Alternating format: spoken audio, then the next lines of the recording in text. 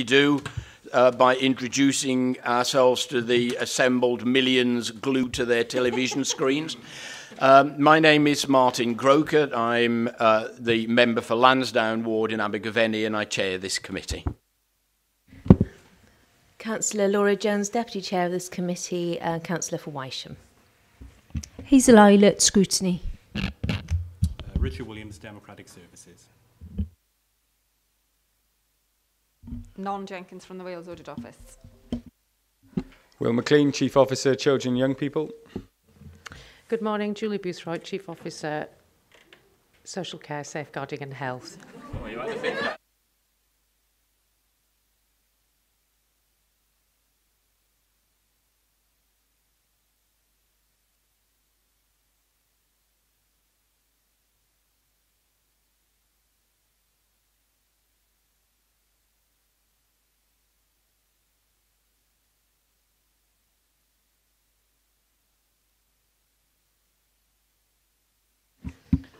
Mike Fowler, Parent Governor Representative. County Councillor Maureen Powell, Councillor for Castle Ward and Abergavenny and a member of this committee. Councillor Joe Watkins, Councillor for Caldecott Castle, member of this committee. Tudor Thomas, County Councillor for Priory Ward uh, in Abergavenny and a member of this committee. Borera. Uh, my name is Philip White. I'm a lay member of the Audit Committee and I chair the Audit Committee. Sheila Woodhouse, member for Grofield Ward in Abergavenny and also member of this committee. Councillor Louise Brown, member of this committee and also a ward uh, councillor for Shirenewton. Hello, I'm, I'm Penny Jones and I'm Cabinet Member for Social Services, Safeguarding and Health. Uh, Pete Strong, representing the National Union of Teachers.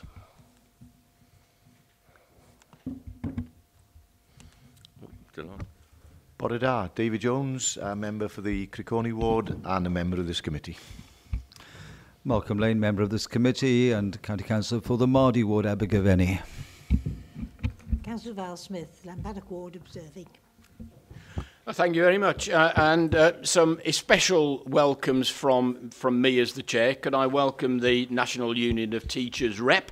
You're, you're very welcome. And to reassure you, I was for many, many years a member of the National Union of Teachers.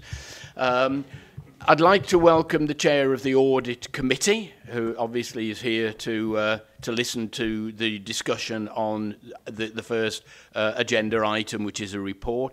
And if you'd like to comment, I would certainly welcome you uh, speaking to the committee this morning. I'd also like to welcome our cabinet member, Um, and, and the same for you, Councillor Jones. If you would like to speak to the committee, I would certainly welcome that.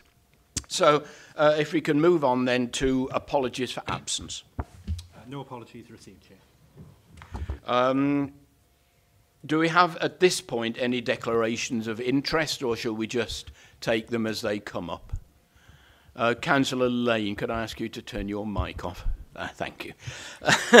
um, I've not been made aware that there are any members of the public who wish to speak to us. So we're moving already on to item four, which is uh, indeed the scrutiny of the Wales Audit Office review of children's safeguarding. Uh, members will remember that we were actually part of that when the uh, inspector from the Welsh Audit Office came and observed our dealings. So it's nice that we have, dare I say it, at long last, uh, got the report. Some of us uh, still had hair when we were originally interviewed. Uh, but uh, having said that slightly facetious thing, um, I'm glad that you're here this morning from the Welsh Audit Office. And if you'd like to introduce our discussion, thanks. Thank you, diolch yn fawr. Um, and yes, no, I get the point completely. Um, uh, it, and thank you very much for being involved in the, the uh, review and for uh, your time um, as part of the interviews. And yes, we are here today. We did um, issue this to the council over the summer um, in August. Um, And I suppose it is one of those reviews, because we did it in liaison also with CIW and Eston, we wanted to make sure that uh, we, were make, we were triangulating it uh, completely and uh, um, uh, in an evidence-based way. Uh, and yes, that did potentially add to the complications, but what you have is a richer and a, a, a joined up uh, report here from all, all of your regulators. Um, So, uh, well, uh, so the background to this, as you know, I won't go through, through it in detail because I'm assuming you will have read it um, yourselves. But the background, obviously, we we did uh, in 2015, we did a national review of um, uh, safeguard corporate safeguarding arrangements at all 22 councils. Um, and we made, I think, nine recommendations at that point to all councils. Uh, and Also, we, we've done uh, some work in terms of uh, uh, the curb craft report that we did, and we also brought that back to the council here.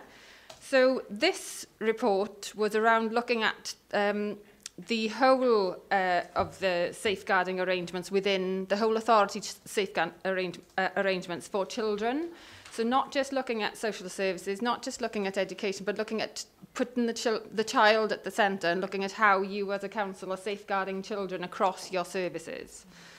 Um, and that was a key um, focus, the key focus for this uh, piece of work. So I suppose um, uh, it's set out in, in, in two bits, really. The first bit is about uh, uh, how you have come along um, in, in that progress that you have made, so the strengths that you have, And then the, the second part of it is around what more could you be doing to improve the situation. So um, just to quickly go through that, um, our work uh, concluded that uh, the councils, the children's safeguarding policy and procedures in the council have recently improved over the last two years, but there are shortcomings in some critical areas of policy and operation. Now, why we say that um, is that we Um, the Council's framework and arrangements for safeguarding have recently improved. The leadership and strategic direction and accountability arrangements have improved. The Council has made progress in responding to the recommendations in our Curbcraft report um, and in responding to SN and CIW reports too. The Council's safeguarding policy is comprehensive and is supported by Directorate uh, Safeguarding Leads. Um, your safe recruitment of staff and volunteers is improving too and the Council engages effectively with external partners and the Regional Safeguarding Board and arrangements to monitor, scrutinise and manage performance and risk are generally sound. So those are the good things that we notice as part of the progress that you've made in, in, um, over the past uh, few years in terms of moving things forward. So that's a good uh, uh, news story in terms of things are moving forward and we can see that you're committed to moving things forward. Uh, we have highlight, highlighted some areas that uh, I know Julie will come, uh, come back on how you're taking this forward in terms of uh, moving forward further and uh, um, and the shortcomings that we came across were um, that the safeguarding policy hasn't yet sufficiently integrated, been integrated across the council. So whilst it might be very well uh, or more embedded in social services and education, there's still more to go in the other services. Um, not all aspects of safe recruitment, induction and training are consistently embedded. Again, it's about embedding it across the council and, and, and getting it consistent within, uh, within your, pro your processes. Um, your control arrangements are inconsistently applied. Well, that was at the time, um, and, and it exposes some gaps in, in accountability for you as a council and also weaknesses existed in the council's commissioning and contracting arrangements in relation to safeguarding children. So how do you uh, manage and how do you relate to contractors working on your behalf? How do you make sure that all of those checks and balances are in place when there are people working on your behalf out there with children? So those are the four uh, uh, key areas for improvement. And then we made uh, four proposals for improvement, um, which were The first one being to integrate safeguarding across the Council's policy framework, and we've set out um, a couple of, uh, or three particular points there. The second uh, proposal for improvement was embed all aspects of safe recruitment, induction and training consistently, and we've made three points as to how, how we would expect to see that. Uh, proposal for improvement three is about ensuring control arrangements are consistently applied and improved performance monitoring arrangements around safeguarding to include all areas of service operation to address all gaps in accountability. This should include issuing clear guidance to managers on information on safeguarding that should be included in reports to members. And then the fourth and final proposal for improvement is around improving the, um, the Council should improve the its commissioning and contracting arrangements, as we've noted, um, in relation to safeguarding children by finalising the guidance on commissioning and contracting and volunteering from safeguarding perspective. So those are the four proposals for improvement. Um, shall I hand over to Julie now for their management response as to how you are taking this forward? Or... yeah, I, I think that's a, that, that's a reasonable way forward. Um, clearly, members will will have some questions and comments, but nonetheless, this is uh, for members. This is on page 29 of the uh, agenda, the management response.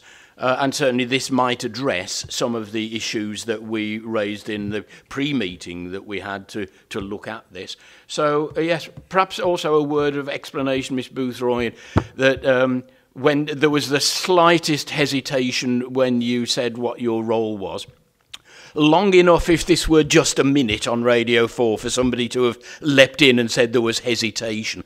Uh, for, for, for anybody watching on, on live streaming, it's, it's because we have a new senior officer. Uh, and if you've not had formal uh, congratulations from this committee, you can have them now. It's, it's good to see you in your new role. But yes, perhaps over to you for management response. Thank you very much, Chair. Yes, I did hesitate, and um, I'm looking at my colleague at the back, Matt, and I, who carried out some media training this week, so I think I've got a big cross for that. But uh, I think what it is, I'm used to being, you know, this, this role is, is, is usually called, as I call it in old money, the Director of Social Services, and the long title is taking some getting used to. But uh, nonetheless, I'm thrilled, and thank you, Chair, for, for that introduction.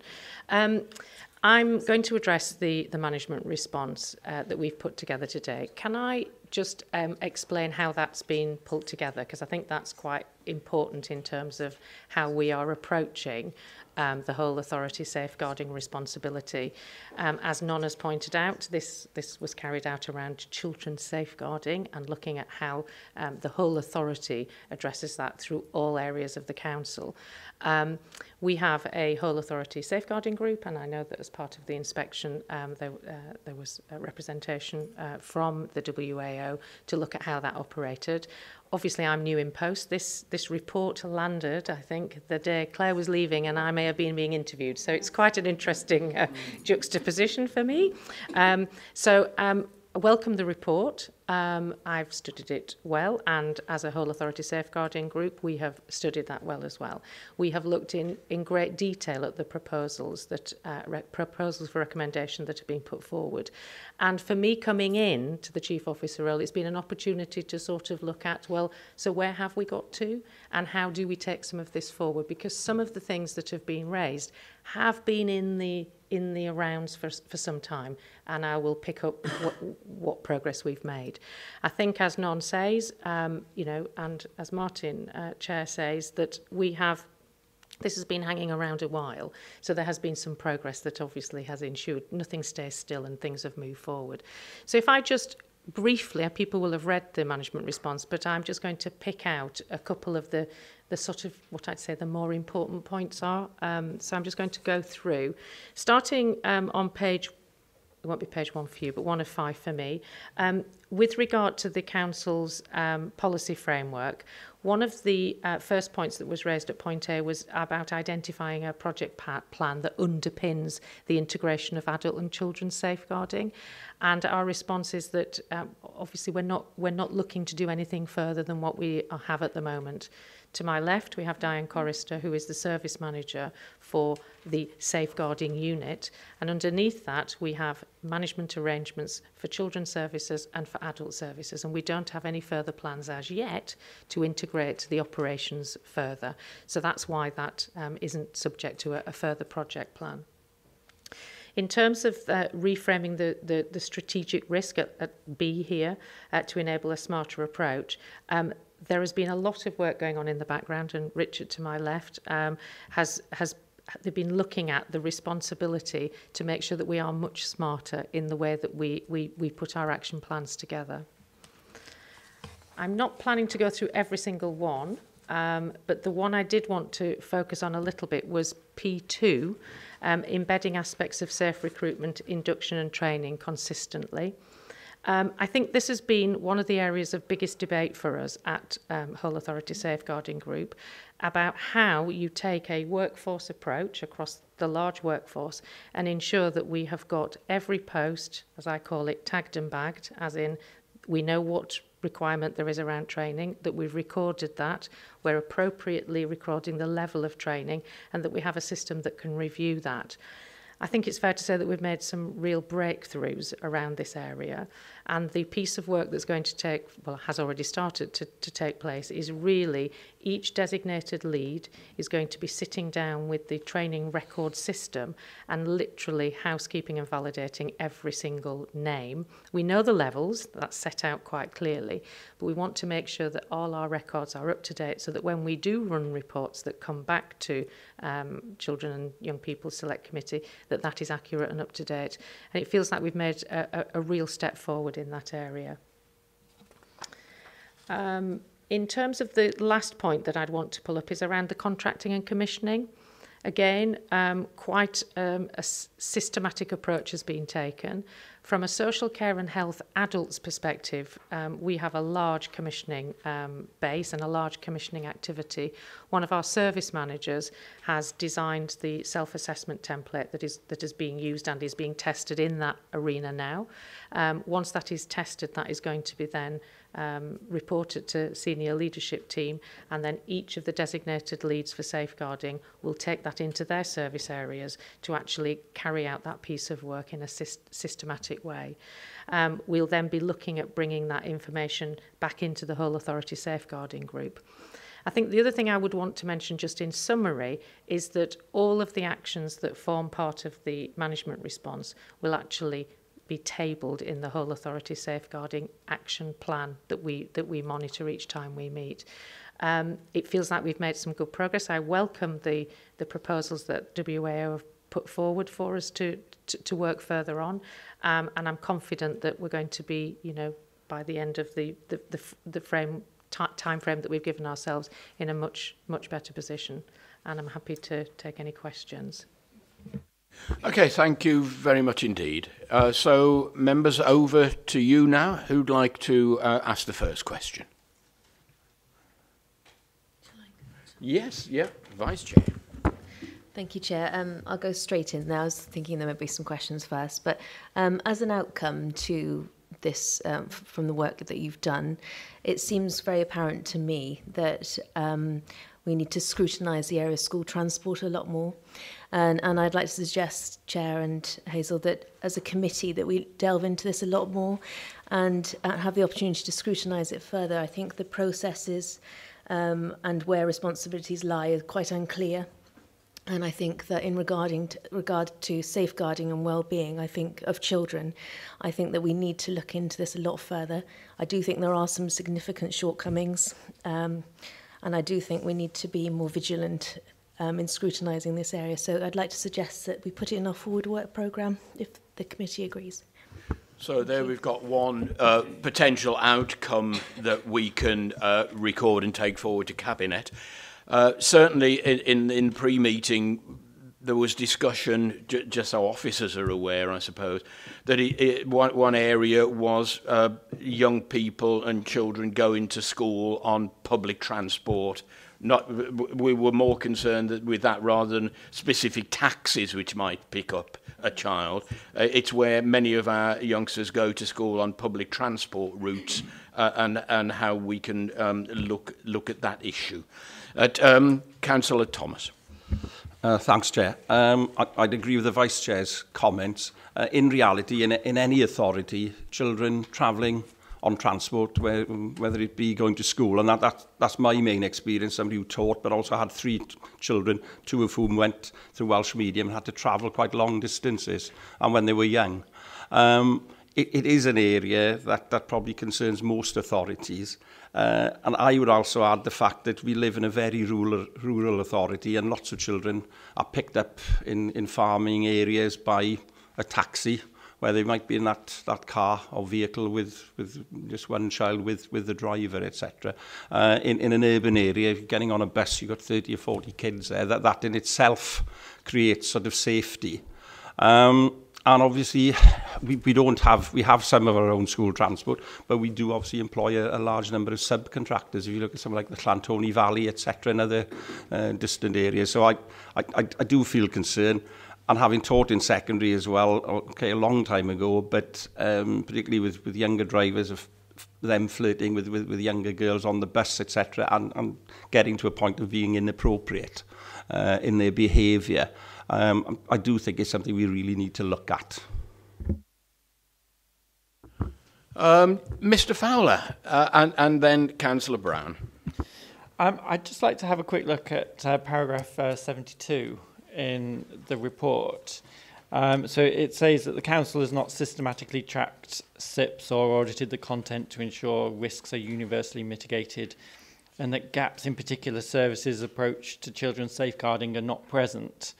Uh, and it says this is an area, uh, an important area for improvement. So that kind of takes me down the path of, of how we came to discover Kerbcraft. And it makes me wonder, is there any more services lurking around the council that we're going to get surprised by? Or is there anything else out there? How, how deep have we investigated all the services that we operate? Yes, sorry, thank you. Um, it's, a, it's a good question, and I think it's always an area of concern for any of us who are working um, in, in, in this arena that something could, could occur. What we have to be able to do is look with each of, the, of our um, areas of, of business across the council and, and dig deep, and that's going to keep going. And certainly, reference to the service improvement plans, um, there is a much more uh, um, there's going to be a much stronger emphasis, emphasis in the in the, the newer iteration around the safeguarding element that service areas, and we're going to want to be able to see that they have really looked at all key activities and all service service risk areas, I, I suppose I, I would argue. And actually, part of what we've done to enhance that is have a, a system called a safe and it may have been that it's been discussed in here uh, previously which is an audit that each of the service areas carries out through a safeguarding lens and that work has been carried out in every single area to expose what are the risks and then looking to mitigate those. Now, we'd expect to see some of that both in the whole, whole authority safeguarding um, arena, but also in the individual service plans. So this is, this is getting hold of that and pulling it forward with traction. I don't know whether, Diane, you want to mention anything about the safes particular. I just think it might be useful to understand what that mechanism is, because of course it doesn't go into detail in this report, but obviously it's underneath the service. Are you happy to? Yeah. yeah. I'm not sure. Does this one work? Yes. Oh, um, just in terms of, because you've mentioned Kerbcraft, if I just give an example of when we did the safe with the, the safe audit with Kerbcraft, um, the when we went through that, which looks at policy, aligning the department or the the area to policy, but ensuring that training, policy procedures, working procedures, how that's shared out amongst the staff, how that works with all, all parts of different parts of the authority. All of those parts were covered. When we did that with the Kerbcraft managers, they said if we'd have done this two years ago, we wouldn't have been in the position we are now, and the council wouldn't have been in that position. And so we have, as a safeguarding unit, we've taken the lead to support all directorates in managing their safes. There will always be times, and we're doing another run through now, we have a database, because there'll always be parts of the service we think, Actually, that's not been included. So then we are going to do more and expand that with foster carers and all those wider parts of the services. It includes third sector services at some points when they have direct involvement and there's an interface with the local authority services. So it's a ongoing program, but what it means is it ties everything in terms of the policy with regards to governance, safeguarding, training, safe recruitment, working to policies and procedures through a safeguarding lens, and that's all, all part of the SAFE. They have an action plan which should be then carried forward into their business improvement plans. And there's a so hopefully we will not be in a position where we find ourselves with another Kerbcraft. But we always say hopefully because there will always be things that come forward that we don't know about. Okay, thank you. Councillor Brown. Yes, thank you, Chairman. Um, I would certainly uh, support the uh, Vi Vice Chair's proposal for looking at home to school transport in more detail on the safeguarding uh, aspect because it's something that's been um, highlighted in, in this report. But I, I wouldn't necessarily say that it should be restricted to buses because I think taxis are an important area as well because you have um, uh, you know, taxi drivers um, who are taking vulnerable children, often on their own, and it's mentioned in this report in rural areas as well. Now, it says in this report that um, taxi drivers um, are, you know, they monitor their own. DBS and have to report on change in circumstances. But the escort drivers are left to the taxi drivers to ensure that the DBS uh, checks. And I think that there's actually a gap there because um, knowing a little bit about licensing uh, legislation, uh, you may say, oh, well, it's a licensing uh, responsibility, but licensing look at the suitability of taxi drivers, and that's also they don't look at the general policy implications in terms of uh, taxes, you know, um, you know, DBS check, checks for escort drivers and so forth. Uh, uh, sorry, escort people who accompany people with learning difficulties and who need somebody there in the car with them uh, to escort them. So I think there is a, a potential safeguarding gap there. So it's not necessarily a question of saying, you know, it's, it's a licensing committee responsibility. We, we need to look at this in a bit more depth in terms of, um, uh, you know, policy changes so that we cover those gaps. And, uh, you know, so I'd be very much in favour of home to school transport, but don't forget the taxi element and don't assume that licensing will cover it because of these gaps. They can only go for what the licensing acts say in terms of suitability of taxi drivers. And if you think about the uh, Bradford case, where um, you know those poor girls were um, uh, in a situation with uh, taxi drivers where they were groomed and so forth. I mean, you know, there are uh, risks there, and probably more risks in a sense than bus journeys, because um, you know they might be on their own with um, vulnerable uh, children. Thank you. Yeah, I, I, I take that point entirely, and and uh, in a parallel, certainly um, a school using a supply teacher. It, it is simply not good enough for the school to say, oh, we, we assume the check had been done by the supply agency. And I think that's the same sort of example here, isn't it? We're saying, oh, it's up to the taxi firms to check rather than us centrally doing the check. Uh, Miss Boothroyd. I, I think really important points that have been raised, and I think for me, looking at the uh, management response that we're talking about, there are two areas that could uh, could assist. I think there's the commissioning and contracting lens that we can look through. So when we are actually procuring services, if we are, you know, true to our word, going to really, in, if you like, enforce the safeguarding uh, approach, that is an area where which we need to strengthen uh, when we are looking at procuring that service. And then the other area is through the SAFE. So, as part of my responsibility, public protection, Dave Jones, his SAFE needs to pick up and does to some extent this this area of potential risk, so that we can monitor that through. The wider bit. Um, uh, in terms of a forward work, pro work program approach. I, I'm, I'm not so sure, but certainly in, in, in, in this aspect, we can, we can look at that through, through those two lenses in effect. Do we have any further comments? We've certainly got one. Oh, sorry, Councillor Woodhouse. Thank you, Chair. Um, I just wondered if it was possible at this stage to, to give more information about um, the integrated approach regarding uh, housing under Section 74 there's several issues raised there regarding children with regard to housing. Um, what sort of plans have you got to integrate this, um, or is it something that perhaps the audit could be looking at in, in future to help out with? Um, Thank you, Councillor Woodhouse. In terms of, obviously, it wasn't a specific um, proposal recommendation, and I haven't commented on it in the management response, but certainly as part of our whole authority safeguarding group, the whole issue around bed and breakfast and the appropriateness of that provision for supporting uh, families with, with, with young children particularly, and young adults, is an area that we, we have looked at and tightened some of the uh, responsibility for scrutiny around that.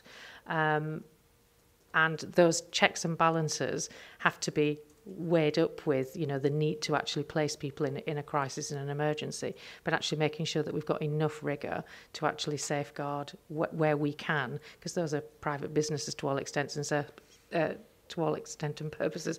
But obviously, again, through the safe lens, and I, I'm using that again, I know, but actually it does pick up the activity in a service area and say, what, from a safeguarding point of view, do we need to consider?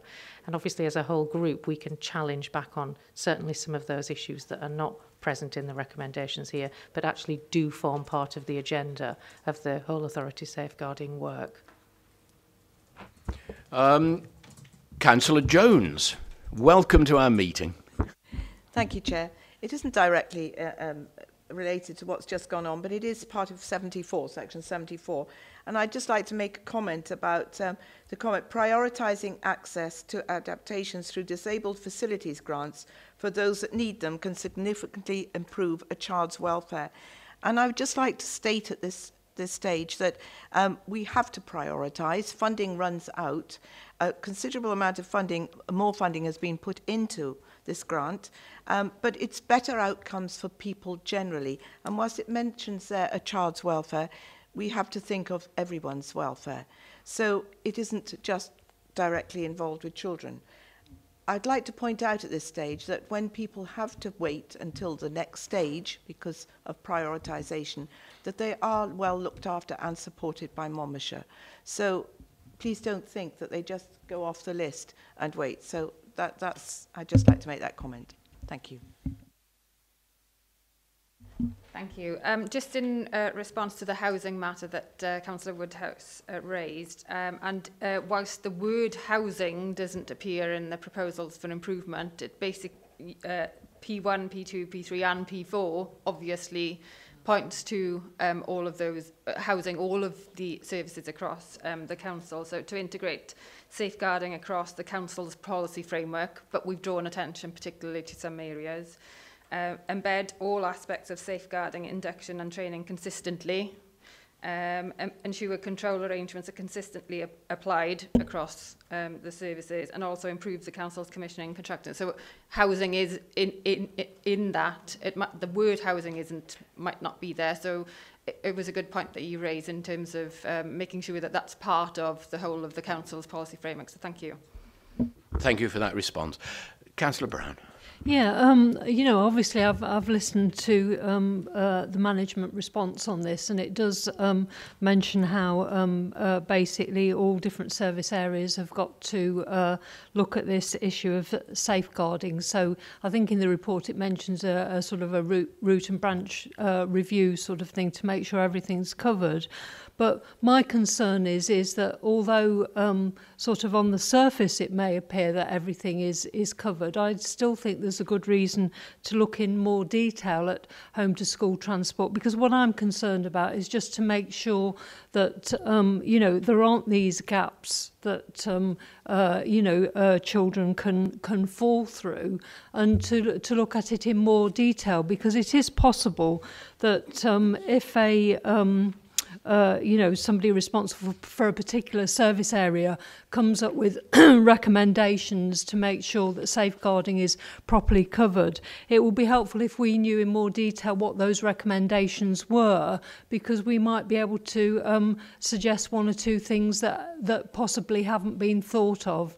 And so I do think it is very useful to look at that in, in further depth rather than just, just say in general terms, well, you know, uh, chief officers are, are, are looking at this because, um, you know, we can all we can all say that, but I mean, how much detail they look at it and what bits and Bob's, I'm very much a detailed person, you know, so I, I like to know that, you know, boxes have been ticked and so forth.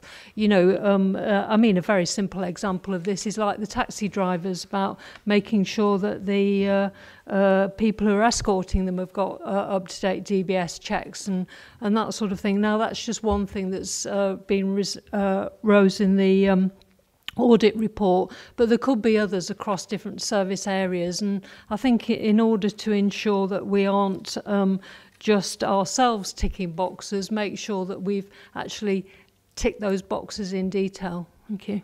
Yes, thank you. Yeah, certainly I think that that um, we can as a committee ask that this becomes part of future work and we can get reports on that and uh, I think that's a clear recommendation from this discussion. Mr McLean. Thank you, Chair. Just firstly, just to reassure members that uh, I don't think Julie or I, as chief officers, would glibly tick a box around safeguarding. Just to be absolutely categorical around that, I think we are. It's fundamentally important how we get our children safely to school to make sure that they are accompanied by the right people. Um, you're right, there are significant challenges given the rural nature of the council. Um, and they are challenges that other parts of Wales face as well. So we have to take that learning to see if there are uh, ways we can uh, enhance our um, safeguarding um, methods around that. I think I'd like to suggest to the committee, if possible, that um, in terms of bringing um, further information back, that we do that actually through the whole authority safeguarding group. All of the senior officers necessary and relevant to that discussion are represented on that. Um, I would suggest that we start with the, uh, the safe that will have been completed by the passenger transport unit, but then potentially we undertake some more detailed checking around that so that we can report back into this committee and give you that level of assurance that you want. Is that okay, Chair? Uh, that's, that's fine. Thank, thank you very much indeed. Uh, I wonder if I could just uh, raise one issue that uh, Miss Ilett has just brought to my attention of a member of the public who, who wrote in a parent to say that her 11 year old has two separate bus journeys to school and, and sometimes has to wait 20 minutes between the two services. Uh, and, and, and I think that's an issue. Um, and uh, in, in asking for this to go forward to the future work programme, I think that would be a specific thing that we could ask officers to look at as well. So thank you, Ms Eilert, for, for raising that issue. Um, audit committee obviously has a very clear responsibility for safeguarding areas and indeed it's a Welsh Audit Office report. As chair of, of the audit committee, is there any comment you'd like to make at this point here? I had a few thoughts as the discussion discussion went along. Um, in the same way, it's quite uh, very good and appropriate for the Wales Audit Office to be looking at this area. It is, of course, a continuing matter of concern for the Council's own uh, Audit Committee. Um, I don't know at the moment if there are any plans to let this particular report uh, go to the Audit Committee itself for, for discussion from, from that point of view. Um, I think it might be um, a good idea at some point if the Audit Committee was able to look at the implementation of the recommendations uh, in the report, which I see most of them are to be implemented this year, the latest by March 19, uh, 9, uh, 2019, I believe. So that won't be too far off. Perhaps that we could um, invite you, uh, Ms. Boothroyd, perhaps to, to come to the, to the audit committee. Um, I'm glad to see internal audit have already been uh, referenced in the report itself at para 68. It's always very useful for the audit committee when internal audit can give us uh, reports on, on, on what's going on. Um, just on the uh, recommendations itself, I too was, was uh, intrigued, uh, interested in paragraph six, uh, 74 about the, um, about the housing issues. Um, let me just go back to that paragraph. I think at the time when uh, I was interviewed for this, um, for this review and there were other meetings going on, there was mention about the disabled facilities grants. I think the issue for the audit committee there was what we were learning about when performance indicators were perhaps not met.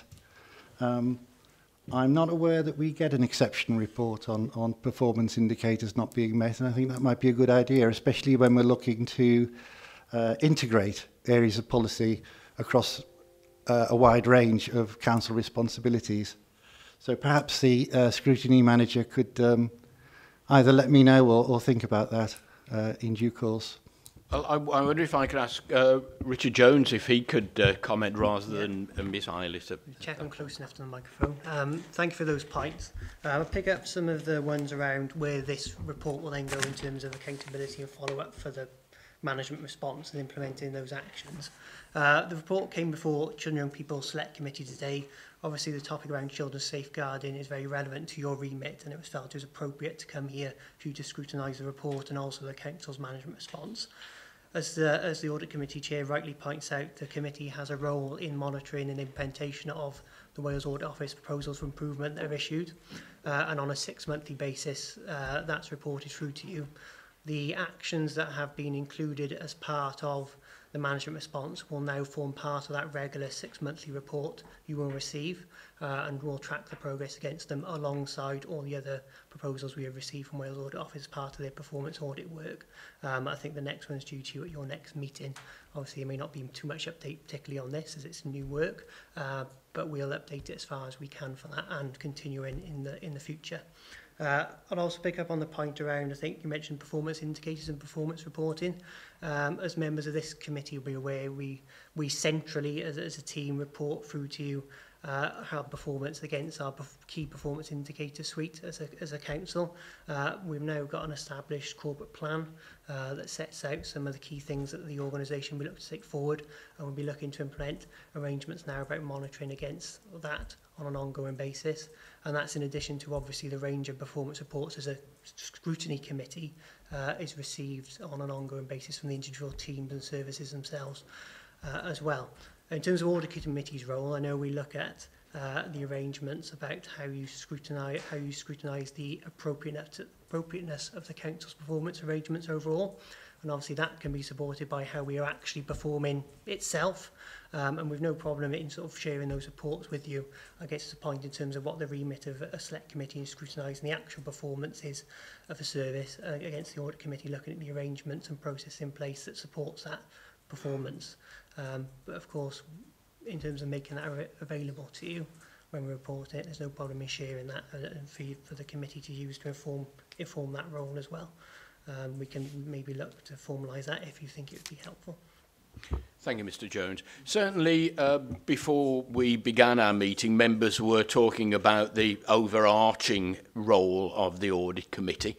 So perhaps uh, as, as another um, thing we could ask from this debate is that we request that it does formally go to your committee for you to consider. Is, is there any comment you'd like to make back to, to what Mr. Jones has just said? I think this is. Um, I think I think probably this report should go to audit committee for information, because um, I, I, you know, I think any follow-up work that, that goes on in the audit committee will be necessary for members to be fully appraised of of what the recommendations were and why they were made. Um, the reports you describe, uh, Richard, are, are important and useful, but don't necessarily have the background behind the recommendations uh, uh, uh, and, and the, and the, um, and the uh, reactions to those recommendations. The thing I'm just still a little bit uncertain about is what are the formal arrangements for reporting back to the audit committee on, on meeting performance targets. Perhaps you and I could have a talk sometime about it.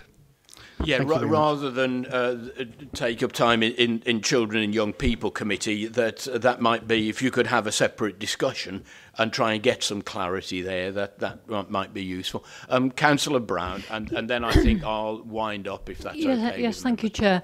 Um, in view of um, what the uh, Chief Officer for Education has said about um, the passenger transport unit possibly being the best um, uh, section to give us a report back on home to school transport. I mean, I think that that will be a, a very useful um, outcome of this because obviously we're responsible for the children end of, of things, and I think uh, that will be very useful for, for buses and taxis. Thank you. Okay, I, to, to, to try and capture the, the discussions we've had then, I, I think there are a couple of things we're asking uh, to, to take forward. The one just raised by Councillor Brown there, that the, uh, a very specific examination of uh, home to school transport comes back here. Uh, that forms part of uh, the, our future work programme. uh, and also on behalf of the, the chair of the audit committee that we formally ask that this is referred to audit committee for their consideration as well. Um, Could I, could I thank uh, officers who've contributed to that? We've, we've certainly had a very senior team from the officer side, uh, and so thank you very much to officers for coming along. And thank you also to the Welsh Audit Office for coming along and, uh, and, and uh, sharing their thoughts with us and, and indeed answering questions.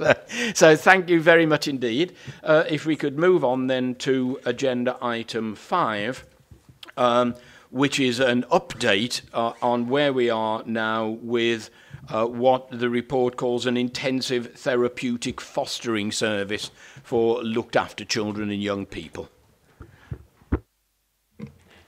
Thank you, Chair.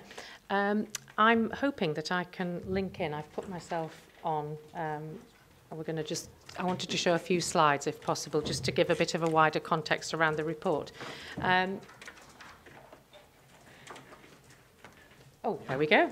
Oh, I don't know if you can read it though. Um, I can read it. not that big. Okay. Um, I'm hoping that members have had chance to have a look at this report. Um, it's a very detailed report and Charlotte will um, assist me with some of that detail. Um, I think um, in bringing this to members, um, it marks a very important step forward, I think, from a children's perspective in terms of addressing some of the complexity that we have in looking after some of the children that we, we are responsible for. And a piece of work has been um, going on across the Gwent region, looking at models of support for, for children. And we have been um, partnering Blaenau Gwent in this endeavour to actually look at bringing together the use of the integrated care fund monies that regionally have been uh, put towards this project. Um, a lot of work has gone on in the background to, to look at how we can bring this to bear in, in the Monmouthshire context. So in terms of what the outcomes uh, uh, we're looking for are is that this will be a multidisciplinary intensive therapeutic fostering service for looked after children and young people. Um, the pro project is proposed to be in partnership with uh, Blaenau Gwent and it falls under the governance of the Regional Partnership Board. Um, there is a very strong evidence base behind this, this particular model of support for, for children. Um, and it also adds to the existing model of service that we have. Um, we're looking to host this project in Monmouthshire. Um, the reason for that is that we want to be at the forefront of that, our partners with Blaenau Gwent, but actually we want to be able to capitalise on as much of that progress as possible by hosting directly.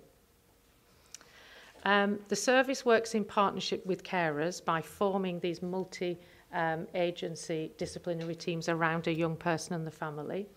Um, looking at really creating um, an intensive support mechanism. And obviously we're looking to capitalise on bringing children potentially back from placements elsewhere to actually be um, managed more locally. Um, what's the reason for this? Well, as members will be aware, there is a very high cost uh, pressure in the children's arena. And also, when we are placing children in residential um, establishments at high cost, we're not always confident that the outcomes are, um, are good enough. Um, we've got also here an over-reliance from a fostering point of view on independent foster um, uh, carers, which come at a high cost. And we wanting to really look at realigning that so that actually we've got that expertise in-house in our own foster caring arena. Um, just in terms of, again, the case for change in terms of the money, across Blaenau Gwent and Monmouthshire, the full year cost of residential high cost placements, as we call them, is in the order of four and a bit million pounds. That's, that's a chunky piece of money. Um, reducing or preventing out of area placements is a, is a really good incentive for us. Um, and actually housing looked after children in our foster arrangements is, is a, it has far better outcomes. Um, the ICF grant funding will sustain this project for 18 months. So it's short-term funding with any of the intermediate care funding uh, money that we get, uh, looking um, to end in um, 18 months' time. The local authority is then looking, and we are looking, to divert that funding that we will have created from managing that external pressure and those external um, placement pressures to actually cross-fund that in the longer term. What we have done is actually we've made a case for if this is successful, and we believe it is going to be successful, and there is success elsewhere where, where this has happened, that actually we should be in a position where we can actually invest that into continuing this service after that point. Obviously, if that isn't the case, it'll be a matter of pulling the plug. So we have, we have some options around that. Um, this has already received um, political approval in Blaenau Gwent, so obviously we're looking to partner with, with our Blaenau Gwent colleagues. Uh, this is just a bit of information about the running costs. I'm not going to particularly go, go into that, but obviously just to, to summarise really, that the total running costs for um, the local team for a full year is in the order of 375,000, but uh, across the, um, the, the, um, the two authorities. Um, some of the risks um, that might present are around our ability to recruit staff to this project. That could be a risk, but actually these types of service models often do attract staff because it is something that is different, that it's supported in a different way, and it's a, a, a, a new endeavour in, in that respect. Um, the availability of therapeutic carers could be an issue, and I'm going to ask uh, Charlotte and Mint to explain a little bit potentially about how we might go around mitigating some of that. And then our ability to achieve the desired release of the funds to sustain the service moving forward. We are working on the premise that this does work, and there is an evidence base that says that it does. Uh, we have to see that implemented in the Monmouthshire context to see whether we can actually release release that money to, to move forward. We've also factored in, if, if we have to pull the plug, how would we share the redundancy liability that could be incurred across uh, Monmouthshire and, and Blaenau Gwent.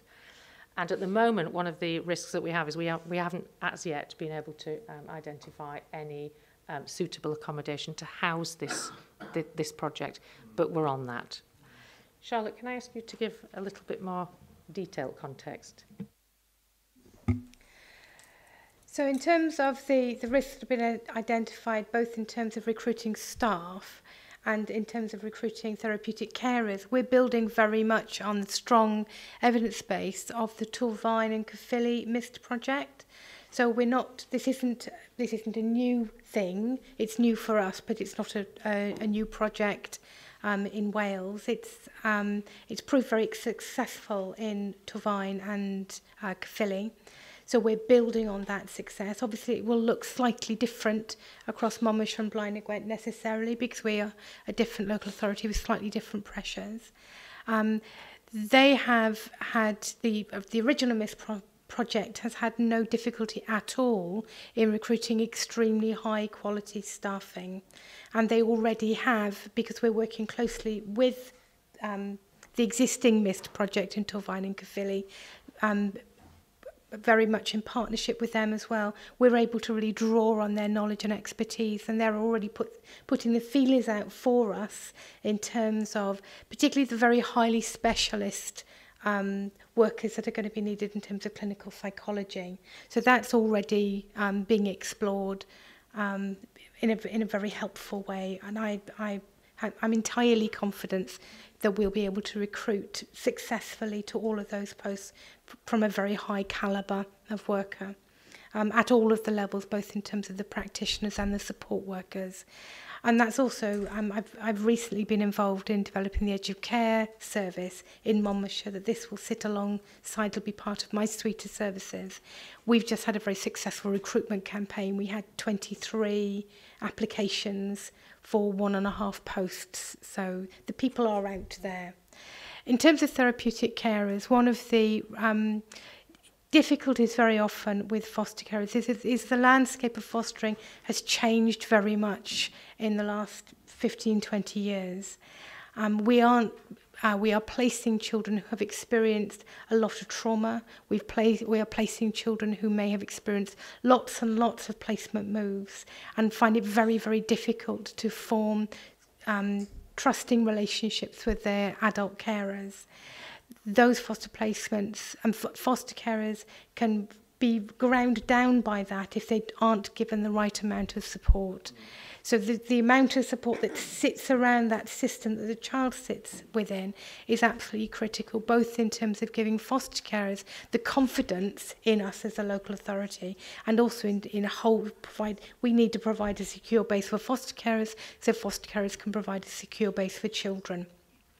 Again, there's real evidence that, that there are foster carers out there that are really interested in provided they have the right support, that are really interested in coming forward, not because they are um, looking to um, replace children they may not have had, not, not traditionally, um, the kind of the traditional idea we might have of foster carers who are looking because they want to look after children, but foster carers who really want to make a difference, who really want to work with troubled children, who really want to provide that long term secure base for children that they recognize have very high levels of need, but they can't do that on their own. They can't do that without that really robust 24 hour wraparound system that sits around them.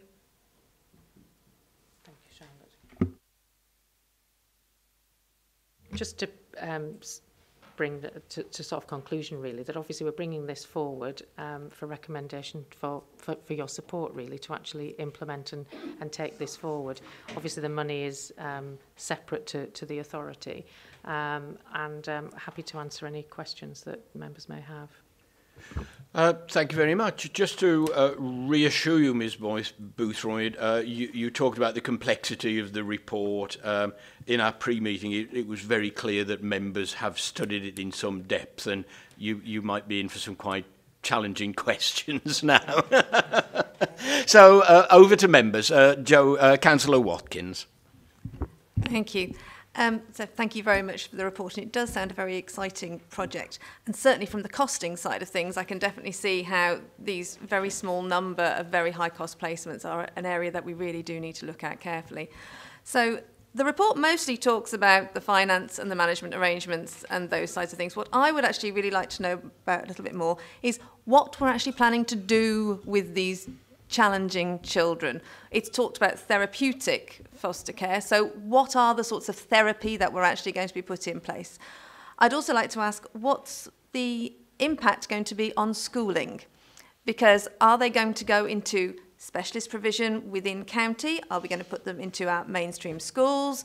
If that's going to happen, that will have, again, a knock-on effect in terms of what provision needs to happen in the schools and how then the schools may need to manage that. So and I also think about it in terms of our corporate parenting role, in terms of the fact that these are children who are in care, they've been put into a residential placement, it's very secure, there's a stability there if they're there for a longer period of time. So we're then going to be taking them back into county very strongly. I want us to just to be very clear that we are, have got their needs very much at the heart of what we're looking at, rather than it being a cost-cutting exercise. I want to know that this is in the benefit of the children, not not for finance. Thank you very much uh, for the question. Um, this is not a cost-cutting exercise. this is about quality uh, outcomes for children, for our looked-after population. Um, it's interesting that you say about um, residential being secure. Yes, sometimes it is secure at the high end of security, but actually our our evidence suggests that the outcomes that we're um, achieving for people in very, very high cost situations often you know, outside of our boundary uh, or the, bound, uh, or the, um, the authority and where people have lived are not good. It's not value for money and it is not good outcomes for individuals. The idea that we can bring children back into a Monmouthshire looked after setting with the appropriate, and I'll ask Charlotte to talk about the, thera the therapy bit, it's about giving people, giving children a, a life in Monmouthshire Um, so this isn't about cost cutting. I suppose in a sense we might have, you know, I can understand where that might have come from.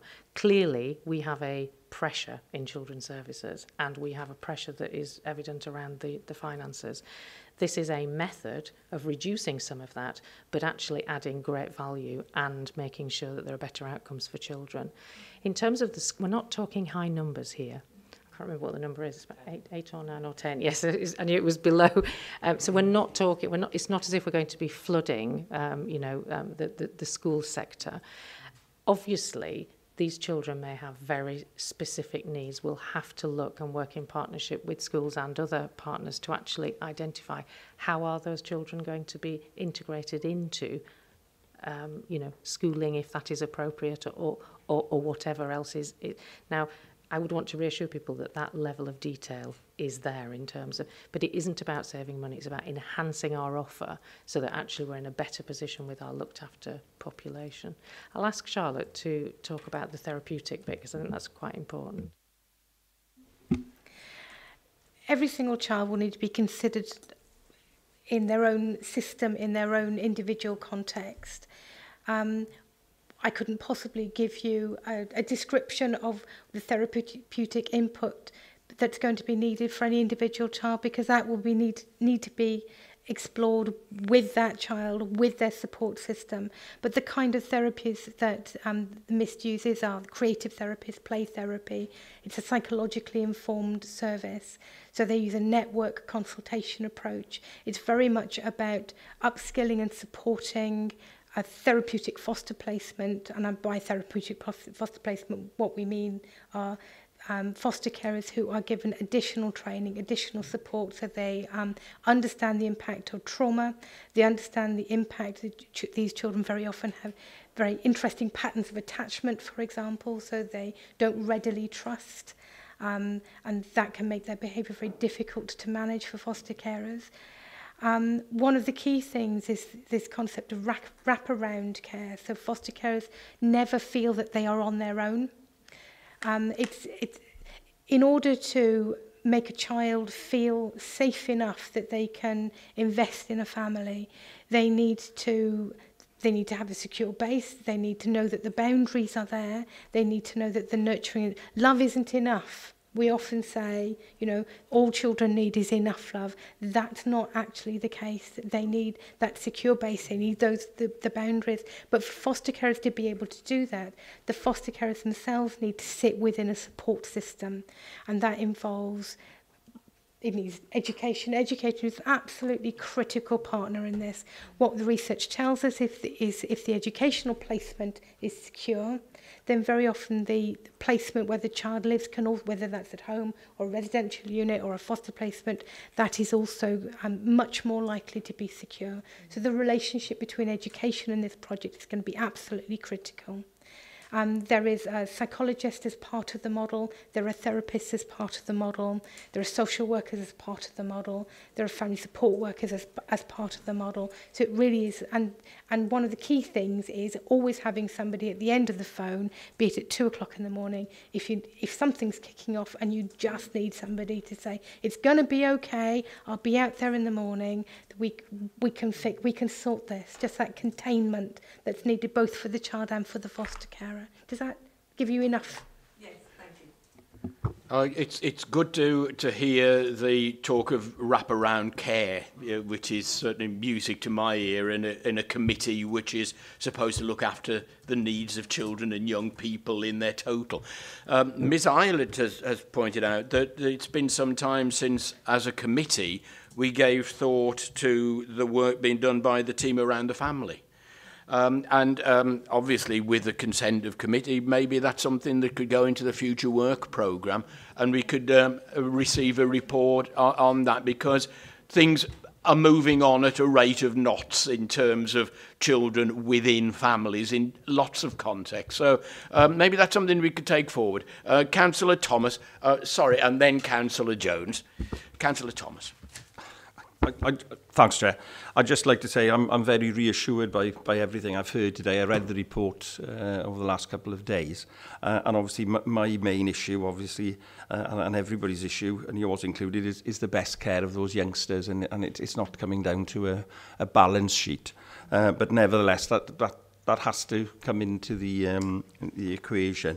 Um, you've reassured me as well that, that uh, we can be confident that there will be wraparound care because obviously these, these children are incredibly challenging by the nature of their, their background. Certainly as having been on looked after children now for um, just over a year and a half, I've, I've been impressed by the work of your senior officer, Jane Rogers, and, and her team um, in terms of, of, of what they do. Um, but also as well, I, I think we need to catch up in a sense with, Blaen, eh, with not Blaen Gwent, with, with um, Torfaen and with Caerphilly. And Caerphilly and Torfaen do lead to, seem to lead on, on a broad range of issues uh, across the, the spectrum, not just um, looking after, you know, looking after uh, children. And the other thing I would say is I welcome it. I, I'm not terribly happy with children having to be sent long distances and, and then monitoring them in a sense, but almost by re remote control. I think when they, they're within the authority, um, we can actually keep, in a sense, keep, keep an eye on them. Uh, but also in terms of certainly talking to um, foster uh, carers and, and talking to foster children. Last, last Saturday, Councillor Penny Jones and I were at, at Hillston Park. Penny on the rafts and, and me climbing a wall, but um, I, I normally climb the wall anyway, but um, but what I'd like to say is it's obviously, you know, seeing those children, yeah, I taught a long time ago, I've got three kids of my own who've grown up, but obviously you can see that, that many of them um, are quite challenging, uh, but they've had very challenging backgrounds, and the more that they are passed on, certainly speaking to a foster care in another uh, context, uh, they'd had to give up on, on a teenage girl, they just could not keep going, But then that is another brick in the wall in terms of the trauma uh, for that child. So many people don't experience trauma in their early lives, like death of parents um, or marital breakup. Uh, and, and they believe that life is hunky-dory and, and mum and dad are there and grandparents to support them. But for lots of children who don't have that, uh, and whatever we do, it isn't, it isn't in reality quite the same as ha having your parents there. Um, so every anything we can do to actually improve that and, and to have less movement. And obviously, I, I, I know speaking to Jane that that's something you try to um, avoid, but that creates trauma. So I, you know, I welcome this, and I, I, I think it's a good move forward myself. That's that's my personal feeling. Our Cabinet Member Councillor Jones has caught my eye. Thank you, Chair. I'd just like to follow on from the previous councillor's comments and, uh, and, and to, to reiterate, in fact, that last Saturday I think we met some children, one of whom had been brought down by a residential care man uh, manager um, from Manchester area to join in the Monmouthshire Day, and that was how important Monmouthshire was to her. And they were driving straight back afterwards, which is, you know, some commitment, but how much more appropriate would be to have that child within Monmouthshire. So um, there was a couple of others, and one other example was a lot of placements. Now, if we could have this wraparound care, it would be so important, would reduce the number of placements as well, and I think that's something we've got to think of. Just to, to point out that, you know, with the um, were independently um, evaluated, as you can see in the report, and at that time, their, their placements, residential placements, were reduced from 15, as nothing like that, but to um, consistently below five, which is so important despite the rise in the number of looked after children. So it does work. And, you know, as, as you say, if it doesn't, then we'll pull the, the plug. But at the moment, it seems, you know, it, it is a good project. Thank you, Chair. Thank you very much. Uh, Councillor Powell. And Thank you, Chairman. Sorry. Thank you, Chairman. Um, we were talking about a lot about the family and home, but you also mentioned about how important education is. And um, uh, Councillor here said about them going out of, of our county. Um, we do have uh, a place for boys in their teens, but we have no provision within Monmouthshire for teenage girls, and they must have to go further distances to find education for specially needed children.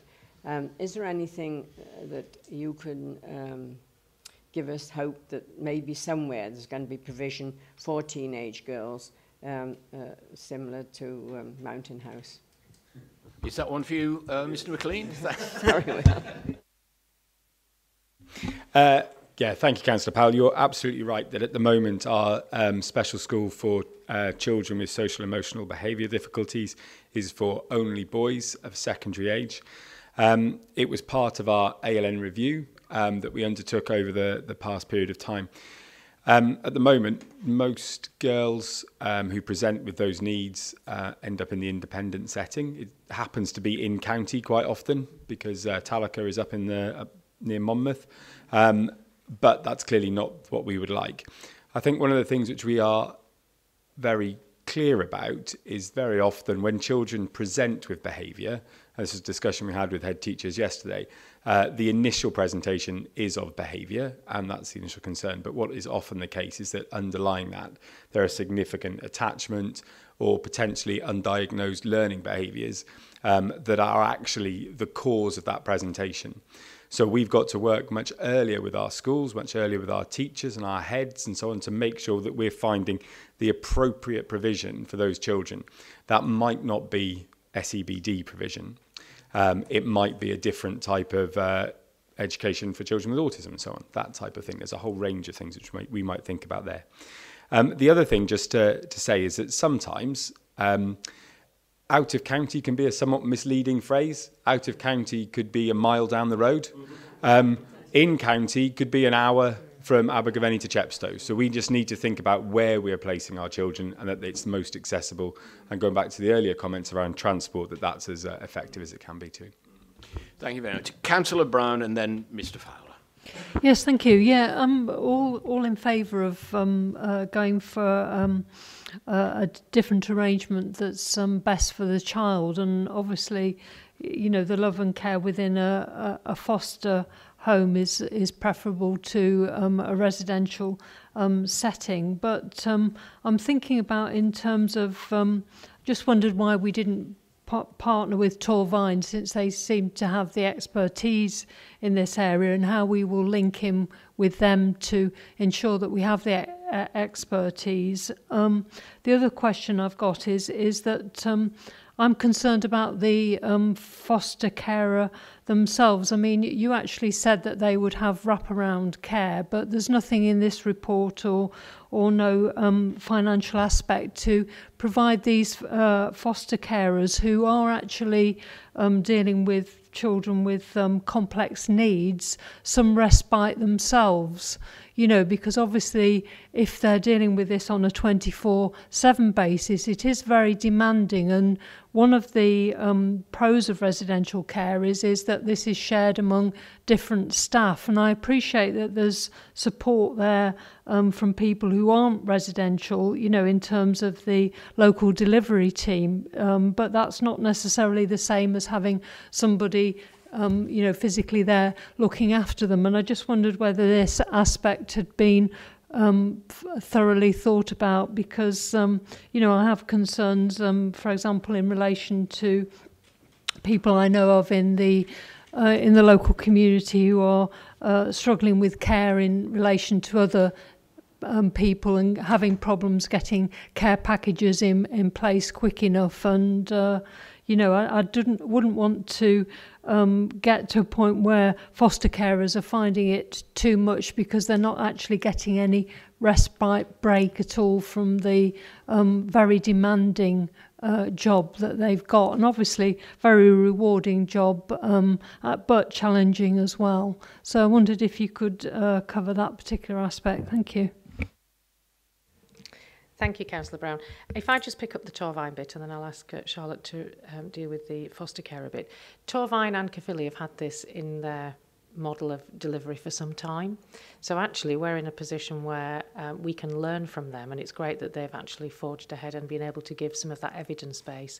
Um, Blaenau Gwent and ourselves didn't have this model, hence why we're partnering with them.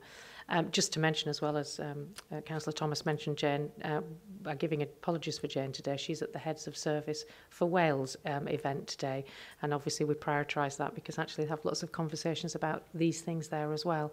Um, so we, we learn from the fact that others have gone first. And actually we have a very good relationship with our other um, authorities, the five heads of service and the regional working is very, very strong. Hence why we've been in a sense being able to get on the back of this um, th through, through, through the fact that they went first.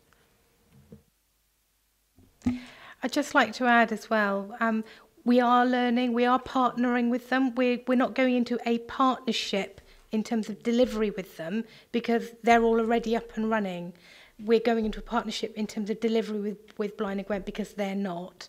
The last meeting we had on this, where we came up with the name, um, was with Torfaen um, and a, a very short-term um, fix for the problem of accommodation will be actually sitting in their building if we can't find anywhere else. So we really are working very closely with Torfaen and they are um, supporting the development of this. So um, yeah, it's, it's, it's, it's all but a, a joint collaborative event in, in, in all but kind of a funding arrangement, really.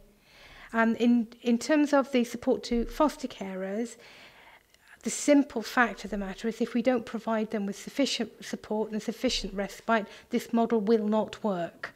So it's absolutely not in our interest to look at um, things like, and, and this is all part of the model, enhanced payments for therapeutic foster carers, um, built-in respite and a highly responsive support team that will be available on a wraparound basis to support those foster carers.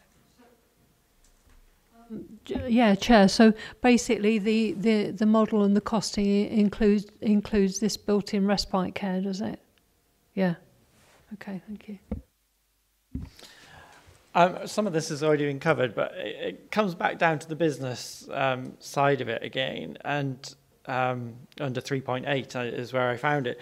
Uh, but this partnership with Blaenau Gwent, um, as, as two authorities, we're funded widely differently and we feel different. And I just wonder why we're strategically partnering with Blaenau Gwent as there not other partners to go with, or is, as kind of suggests in the report, other people have done it and we're the only ones left. And I don't know if that makes it the fit, just because we're the ones left on the floor, whether that makes us strategically right for each other or not, I, I do not know. So I, I'd like to explore that a bit further.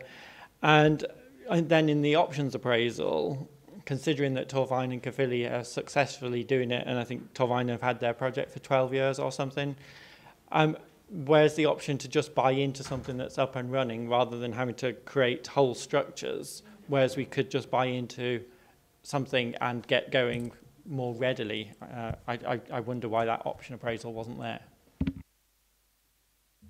In terms of the fit, um, why, you know, I think your, your point about we're funded differently, we are, our populations are different, our looked after children are, I'm not saying they're the same, but you know, that we will have a proportion of looked after children. Blind are going to have many more looked after children than, than we do. I think the strategic fit comes at the regional level. So actually we work in partnership with each of those local authorities through the regional partnership collaborative, through children's partnership and through the regional um, uh, programme board. Um, we partner people at different times for different things. I think the evidence base behind this is, is sound and solid. And we've had an opportunity with the integrated um, care fund money being released to be able to jump onto that. If we weren't having that integrated care fund money, that would have been much more of a difficult, difficult ask for us. Um, in terms of your second point about why don't we Uh, why, why isn't it in the options appraisal about, as about you know being able to just buy into Torfaen? I think we have to look at this as being, you know, it's it's host that that that idea that it's a regional approach but locally delivered. We have to be able to grow our own foster carers that have those capabilities and that capacity to be able to support our population. We have got models in, in certainly the adult world where we've got a wider collaboration around some of these things. That might come, It may be that in the future we're able to collaborate as a sort of Gwent community. But as we are a little bit behind as our Torfaen, we need to get up to that base. Um, I'm not sure it would have been an option for us to buy into that service um, because in effect we have to grow our own and, and recruit our own foster carers on site in Monmouthshire asking Torfaen to do that on our behalf just because they've been doing it and they're doing it successfully, I accept, um, might not have worked for us. Um, it could be that we should have put that in and then discounted it. I'm, I'm not sure that if that was part of our, our rationale, mainly because it's it really isn't an option. You'd be putting it in and then discounting it straight away. So I hope that answers you, your point. Okay, have we got any further? Yes, uh, Councillor Woodhouse. Thank you, Chair. Um, just to say well done on the success of um, the, the recruiting of, of additional carers to, to obviously this scheme will be dependent on that. Um, so this follows on from that. Um, I'm just looking at 3.5. You've mentioned quite often, quite a lot about Torfaen and Caerphilly's success, um, but you also refer to and elsewhere. Now, how many? You know, can you tell us roughly, however, how many schemes there are in other places, or um, you know, that reference is a little bit sort of unclear as to how many of this type of um, schemes are actually in operation. Thank you, Councillor Woodhouse. I think we'll put our hands up to that and say I think the and elsewhere is probably a bit of a generic um, uh, um, addition. I don't think we sit here knowing exactly what is elsewhere, if, if I'm perfectly honest. Having said that, I know that there are lots of models of interventions across the UK that will be called all sorts of different things that will be delivering a, a, along yeah. very similar lines. Um, so it's fair to say and elsewhere, but they might be called different things and have slightly different tailoring. Um, I think certainly in terms of the Gwent region, we will have five um, once Blaenau Gwent and ourselves are up and running. Um, and we're always looking at learning from elsewhere, but I think, you know, substantially it's about it's about the five and definitely us two coming and, and joining that, that, that endeavour um, as we move forward. Okay, um, without further hands up, let's wrap up this particular part of our morning's work then. Um, Perhaps in summary, we could ask for a couple of things moving forward. The first is, as I've already mentioned, uh, a further report about the current work of the team around the family, uh, eh, because I think that that remit has changed and developed, and uh, uh, it would be good to get a report on exactly what they are doing. Um, I think um, this is not our first report on the development of this service. You've still got some work to do, and so I would ask that as that moves forward, you bring us another report, and perhaps that issue about support for foster parents is something that you, you could be quite specific about, because certainly in the time I've chaired this committee, we've moved very rapidly from a situation where we were over-reliant on agency foster parents to recruiting our own and now looking to develop our own really specialist foster parents. That's a long journey in a very short time. And so I, if, if when you come back to us to further report, if you could, if you could perhaps mull on that one particularly as well, it's something that, that interests me. Um, before I move on to asking for support for the report's recommendation, uh, I wonder if I could have a little grouse from the chair and ask Miss Ilett to take forward, uh, looking at, uh, at number four in this report, the options appraisal. Um, I've mentioned from the chair in the past that recommendations come from members rather than from officers. Uh, and here we've got another report with a range of options, uh, one of which is recommended to us. Uh, I think that officers will have heard our debate today and come to the conclusion that we would have made that recommendation ourselves. Uh, and please, moving forward, it's not just for officers here now. That's why I asked Miss Ilett to take it forward, uh, perhaps raise it with the Chief Executive, that uh, we make the recommendations as members uh, and uh, the options are put to us fairly. And I'm afraid at the end of the day, you have to rely on us to come to the right conclusions, which I think generally we do, because we do get very good advice in our reports. But if I could make that quite specific uh, comment, please. Uh, moving then on to the recommendation, which is simply, in essence, that we take this forward. Um, I think from our comments universally this morning, I think we can simply say that you have the approval of this committee to do that. Uh, and if I could thank you for uh, bringing the report to us and for answering our questions. Thank you very much indeed. Um, moving forward then to agenda item six, uh, and this is one for Mr McLean. Um, and before I ask him to uh, talk to us about outcomes for children um, from when they start school up to when they reach the end of Key Stage 3. uh, members will be aware that we have not yet heard anything on the outcomes of external exams, at Key Stage 4 and Post 16. Could I remind you and, and ask you generally to remind members that there is uh, a members' um, event about that and the analysis of Post 16 and Key Stage 4 next week. Uh, it's for all members, but obviously I would hope that members of this committee can attend. Having given that a little plug, uh, Mr McLean. Thank you very much, Chair, uh, and thank you for that uh, for that plug as well. I was going to mention that uh, in my opening comments. Um, I think it's slightly different uh, this year that we've decided to take uh, to a full member seminar the outcomes at Key Stage 4. Um, what uh, myself and the chair talked about was doing that in the first instance because all members will have a, a view about their local school and it's right that we, we share that broadly with all members. Um, but what we were very clear about was that the detailed analysis, uh, vulnerable groups, um, different cohorts and so on will come to this committee uh, for the November meeting. So uh, I hope that reassures members. The other part is, of course, that um, we've had the first um, cut of the, of the uh, formalised statistics, but they are still moving and still changing. So uh, we have this uh, rather kind of lengthy process which starts on exam results day uh, in August, but won't be completed until mid-December when the results are actually finally uh, uh, validated by Welsh Government. And really, in terms of sharing the outcomes and some of those um, vulnerable groups, that's the first point of time that we can do that. Um, but as the chair has said, uh, I'm here today to talk about um, the outcomes for our children at the foundation phase, key stage 2 and key stage 3. Uh, uh, and it struck me whilst I was preparing for this meeting that uh, we've spent a long time talking about uh, changes to the accountability framework, I think you had a very useful presentation from Ed Price at the EAS at your September meeting um, around some of those changes.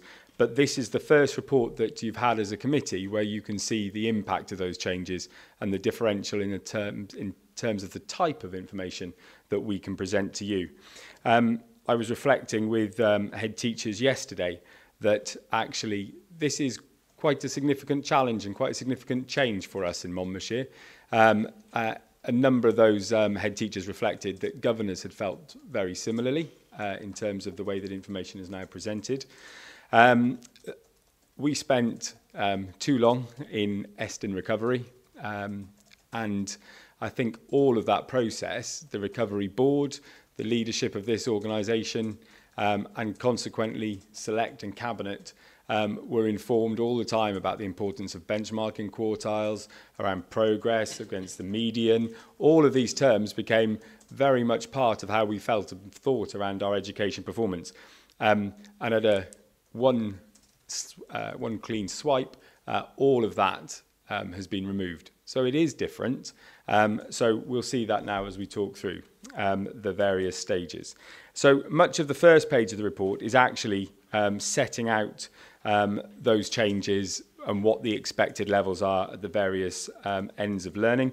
So at the end of the foundation phase, our expected level, um, and in crude terms, that's for the average child, would be outcome five. For our more able children, we'd be looking for their attainment at outcome six.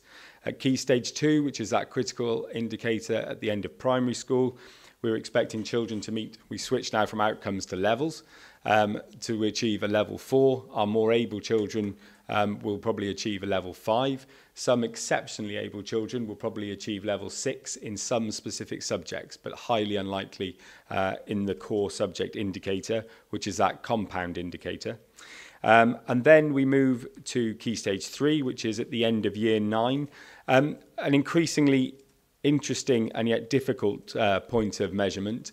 Um, many secondary schools have taken the decision to start Key Stage 4 a year early, so that we know in some of our schools um, they make their choices um, at the end of year 8 rather than at the end of year 9.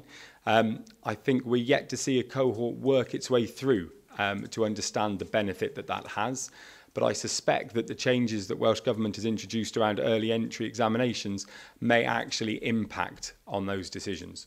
So I think if you were going to move to a three-year key stage four and you had the opportunity to take examinations often during those three years, it would be of greater benefit rather than having one single attempt um, at the end of a two-year linear programme. So I think we'll see a shift in that uh, as things progress. It has had an impact on key stage three outcomes because clearly that judgment is being made in essence when you've already started key stage four. So that is slightly problematic for us. So if we move on, um, page 2 again uh, is really considering those things which have stopped in terms of the information that will be provided. Key, uh, page three then covers off what I've just talked around in terms of where things are expected and so on. And at the bottom of that page, you can see the number of children in each of our cohorts. In the foundation phase, 901, um, key stage two, 899, and at key stage three, 814. So if we look um, at the foundation phase. Now, this is a report that's been generated by the EAS, so the pattern repeats itself for foundation phase two and three. Um, first thing to say about the foundation phase, though, is that there was a significant change in the way that assessment was undertaken with regards to the foundation phase. I wrote to all parents of children at the end who would be at the end of year stage two last year. Uh, I'm going to advise them of that fact. I think and you can see straight away, um, midway down uh, page four on that, um, uh, the, the graph at the top there, you can see that uh, there's very clearly delineated break from what previous assessment had taken place. Um, and you can also see that there has been a significant fallback in our performance, but also in the Welsh performance. So you can see actually properly a harder assessment is resulting in fewer children um, achieving the expected level. The table below that illustrates those the proportion of children who are achieving the expected um, and who are achieving the expected level plus one. And you can see mapped through there the Welsh performance and our own targets. But I think the most valuable tables are on the top of page five. Um, so you can see there that, as expected, um, as I've just set out, um, our performance across all of the key um, indicators has declined. Um, what I would say, and what I would ask you to do, is to look how closely they've achieved um, towards their target. So, you know, we know that our schools know our children well, they're targeting effectively, and then those schools are achieving that. Um, there is, I think now we have moved ever so slightly closer to the Welsh average line than we might have been previously. And I think some uh, data that I've seen shows that we perhaps might have implemented those changes slightly more harshly in Monmouthshire than some of our local partners. But without the full detail of that, that's difficult for me to say definitively. Um, and I probably shouldn't have made any reference to comparability anyway. But you can see there that uh, that's uh, an important thing that's happened. Um, and again, that's echoed back again um, at the expected level plus one. But I do think that the proximity in terms of the um, the target setting is important. At the moment, we have the gender differences, but not the FSM, so that's all that's reported, and that's at the bottom of page five. You'll see that there has been um, a theme of a widening um, gap in terms of uh, gender performance between boys and girls. Um, However, um, we are still have a narrower gap than the Welsh gap. So that's positive. Um, when we come to see, um, we will be expecting to see that gap close again now in terms of our own performance uh, and working with your own um, schools of schools you might be governors of that's one of the areas that I would suggest would be a question that you might want to pursue there. It will become much more a system and a process whereby the, the richness of the information locally is really important. So it will be about governors being able to have real assurance about the value of the self-evaluation process, the school development plan, and understanding what more localised targets are, rather than broad brush national outcomes at the end of key stages. As we move on to page six, we look at key stage two. Um, key stage two um, assessment has remained the same, uh, and you see there um, uh, continued improvement um, at key stage two, which I think is very significant for us. So if you look to the bottom of uh, page six, you'll see that across all subject areas, including Welsh, um, Welsh is more volatile as a subject in Monmouthshire than other places, simply because of the size of the cohort. We've only got two schools, and uh, the school in the south of the county, Ysgolafin, is a small school, so that does have an impact in terms of the variability of outcomes year on year. But you can see that across all expected levels, um, improvement, which is very positive. Um, and again, at the top of page seven, you can see there that um, we're making progress again at the expected level plus one. One of the challenges for us quite clearly, and one which I've articulated to members in the past, is that we make sure that the, the children who are achieving the higher levels at the end of Key Stage 2 go on to achieve those at the end of Key Stage 4. However, a key thing for us to remember um, is that um, the assessment at the end of Key Stage 2 is teacher assessment. So there is um, an element of subjectivity within that. Um, that's not to suggest that there can sometimes be a, or cannot sometimes be a subjectivity in exam marking. It is less though. So teachers may recognise a child has achieved something once um, and that will give them the nudge up into the higher levels and so on. When it comes to actual external examinations, um, that's more difficult. So there are some variances between external examinations and teacher assessments. But still very, very positive to see that um, progress is being made um, in terms of the expected level and the expected level plus one um, at key stage two.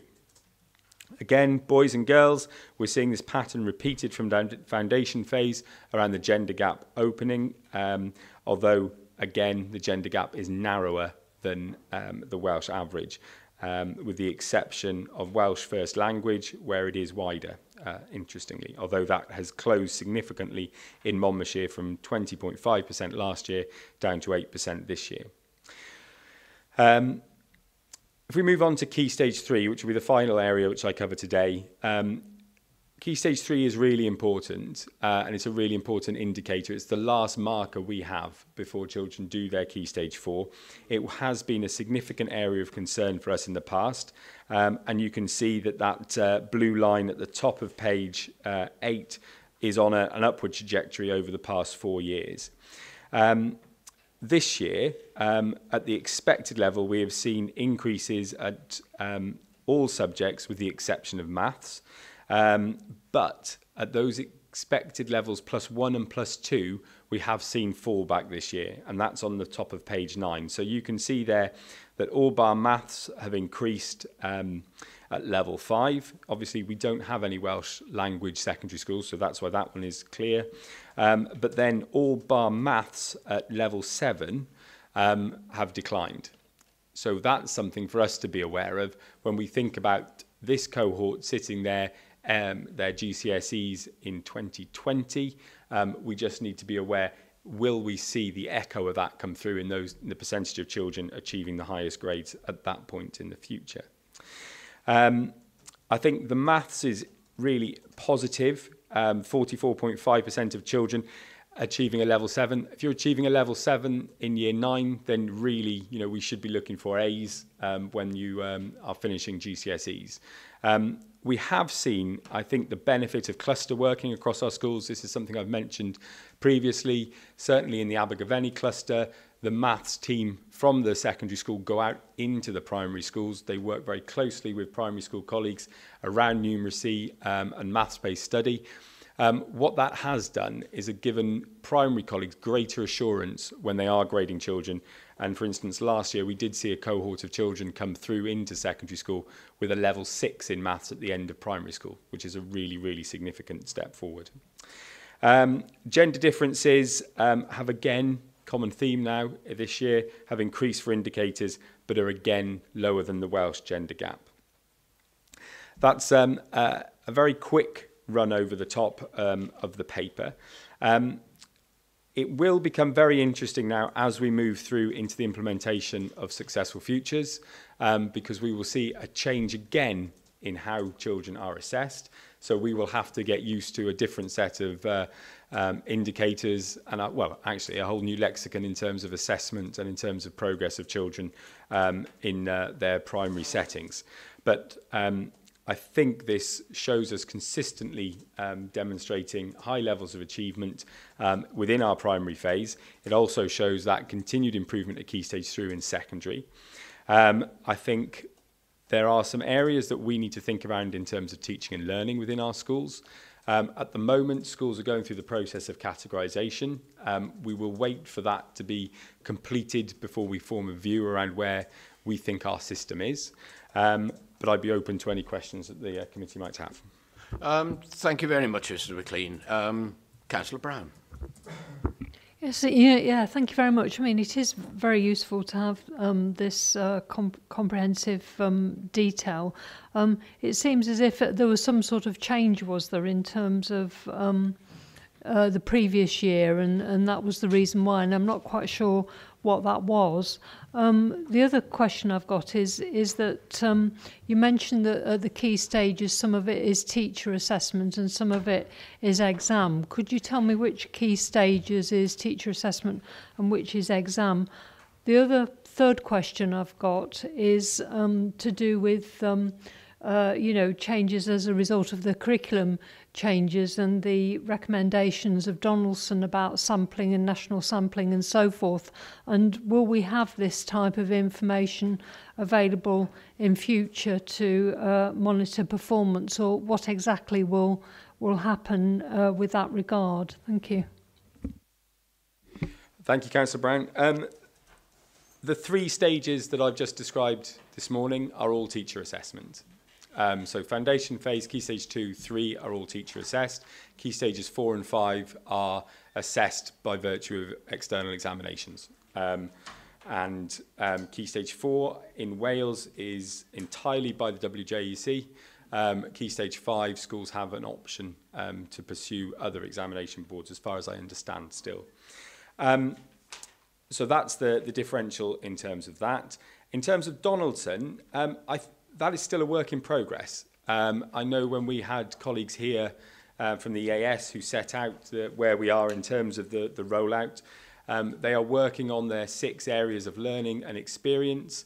Within those six areas, there are a number of what matter statements. Within those what matter statements, there are a number of progress steps. I don't yet know how we will be reported on on those and what that will look like when it comes back into this setting.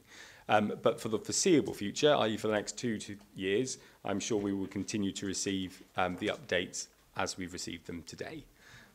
Okay. Uh, Mr Fowler. Hi, um, thank you. Um, it's interesting to look at the data when we haven't got the comparisons of our of the other local authorities, um, which makes me have to think about the data more. Because previously, if we could compare to Ceredigion and be somewhere close by, we were a similar authority and you felt reassured by that. So without those comparators now, you're having to kind of look at the figures solely on their own. Um, and so I started looking at um, the expected level plus one, so the level fives at key stage two. Um, and then I start looking at, at those as being whole authority averages and seeing, say, English at 59% and mathematics at 58.3 as an average of all schools across our authority, that means we've got a jolly lot of above average children living in Monmouthshire. And it's just, it's hard to see how across, is it 31 primaries? 30 primaries to get that kind of average figure when you know that some have probably fallen below, then you think that that means that some schools must have had 70% at the plus one or something to get an average looking like that. And it, it just makes you wonder um, and want to see the school level data that we can't look at, but it, it there's nothing to contextualize it now, and it's it's seeing those results and not being able to compare. And it's I don't know if we need more commentary mm. on that, okay. uh, and I don't know what shape that should take, but it's seeing an average of 59 just looks scary. Yes. Um, yes, I, I think that's a, a very fair point. And I think when I um, was first engaged with uh, the Education Service, um, I used to speak to my colleague internally, to Sharon, and to Nicola Allen, who some of you remember was our principal challenge advisor at, uh, at that time, and actually say, you know, these are very high numbers. We're now talking in excess of 50%. So one in two children is, if the language in the report is to be accurate, more able. You know, and that does seem like a high figure. What came back actually was interesting and was that sense that actually, if you think about the demographics of Monmouthshire, actually, would your expectations have been at that level anyway? So should we expect to have that number of children? I think for me, um, the, um, the, the key issues for me are that um, if we are placing reliance, and we have increasingly robust moderation um, arrangements across clusters and so on. And if we're placing reliance on our teachers' assessments, how do we make sure that those type of figures at the end of key stage um, two translate much better to the end of key stage four? Um, one of the things which um, we will bring uh, to a future select committee is some of the um, analysis um, that things such as the Fisher Family Trust data allows us to see, which maps through the progress that children make uh, from the end of Key Stage 2 to the end of Key Stage 4. It is a really important marker, uh, and in fact, the Welsh Government and consequently Estyn um, use a marker which is called the Model 2B um, to give our secondary schools an expectation of performance based on what is achieved um, at the end of Key Stage 2. Arguably, um, it might make my life a lot easier if, are, if our outcomes at the end of Key Stage 2 were lower.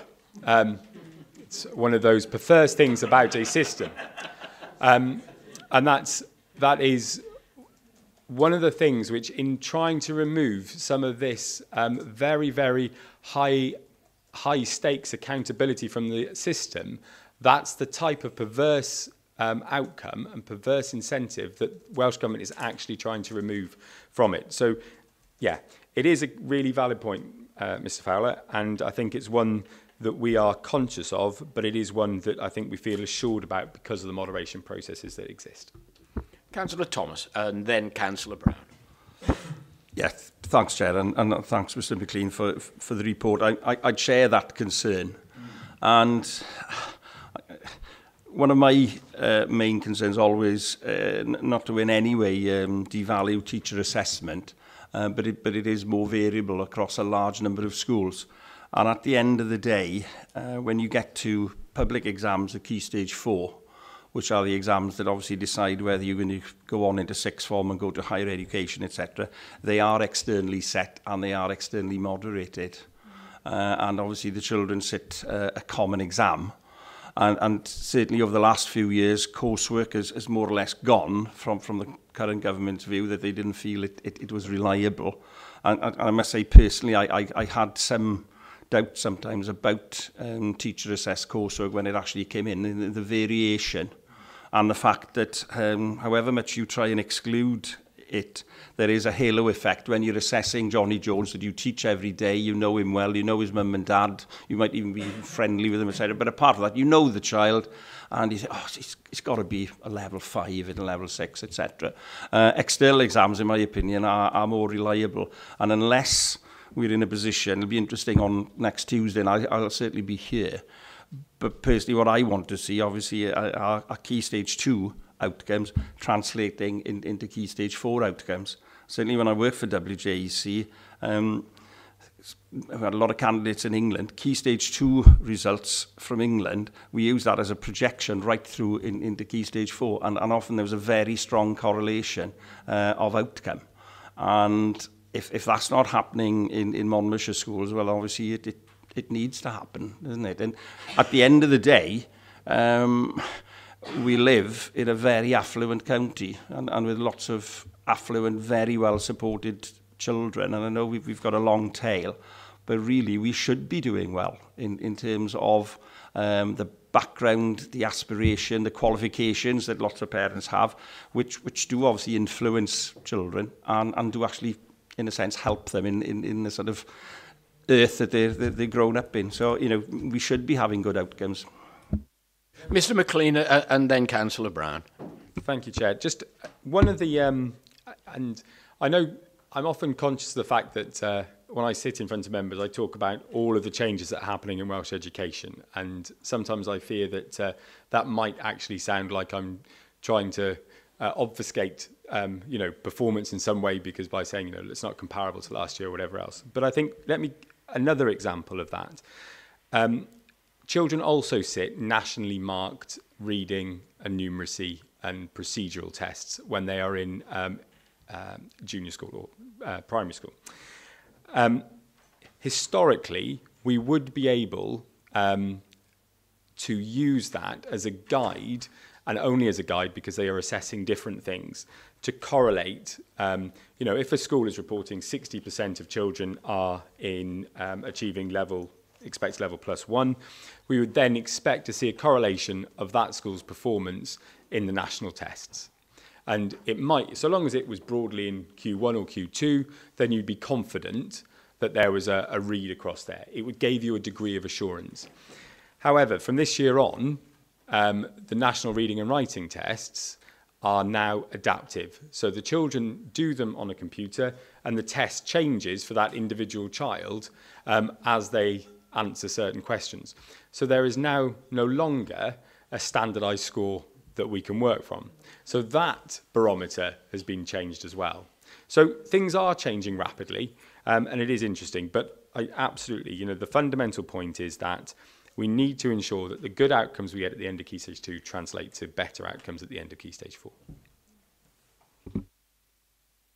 Yeah, um, I think um, I was a little bit concerned about what you just said about um, uh, effectively. I think you're talking about the PISA tests, are you, or not? No, no, because there is a, is a recommendation about uh, PISA on numeracy and literacy, the international tests that. Uh, uh, I think Donaldson has made a recommendation that it's only once every three years, which um, you know is is a concern and just wondered what your views on that that uh, particular aspect were, and also um, you mentioned about the test changing, and that's why um, we're seeing these downward uh, fig figures.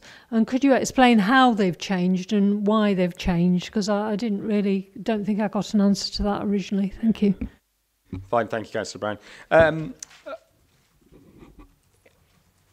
PISA is very high stakes to judge your educational performance on. Um, when you look um, at the schools that are very high performing in PISA, then there are a range of different um, systems and different approaches to education within those schools and education systems. And I think it is very different. You know, clearly the approach taken by the current um, administration um, in Cardiff is that you know um, an upward trend in our PISA outcomes would be highly um, highly valued, I think. Um, I think it is difficult on a three-year cycle, and PISA only tests certain things in a certain way. So we've got to, again, with any assessment, you have to take that into account.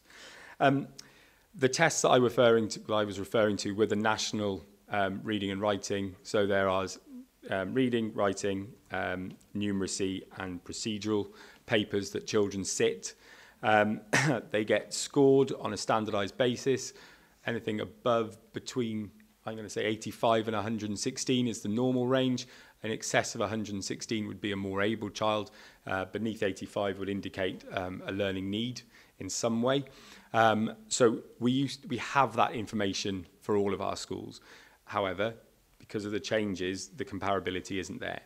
Um, the change that's taken place, and this is in the paper um, at the top of page four.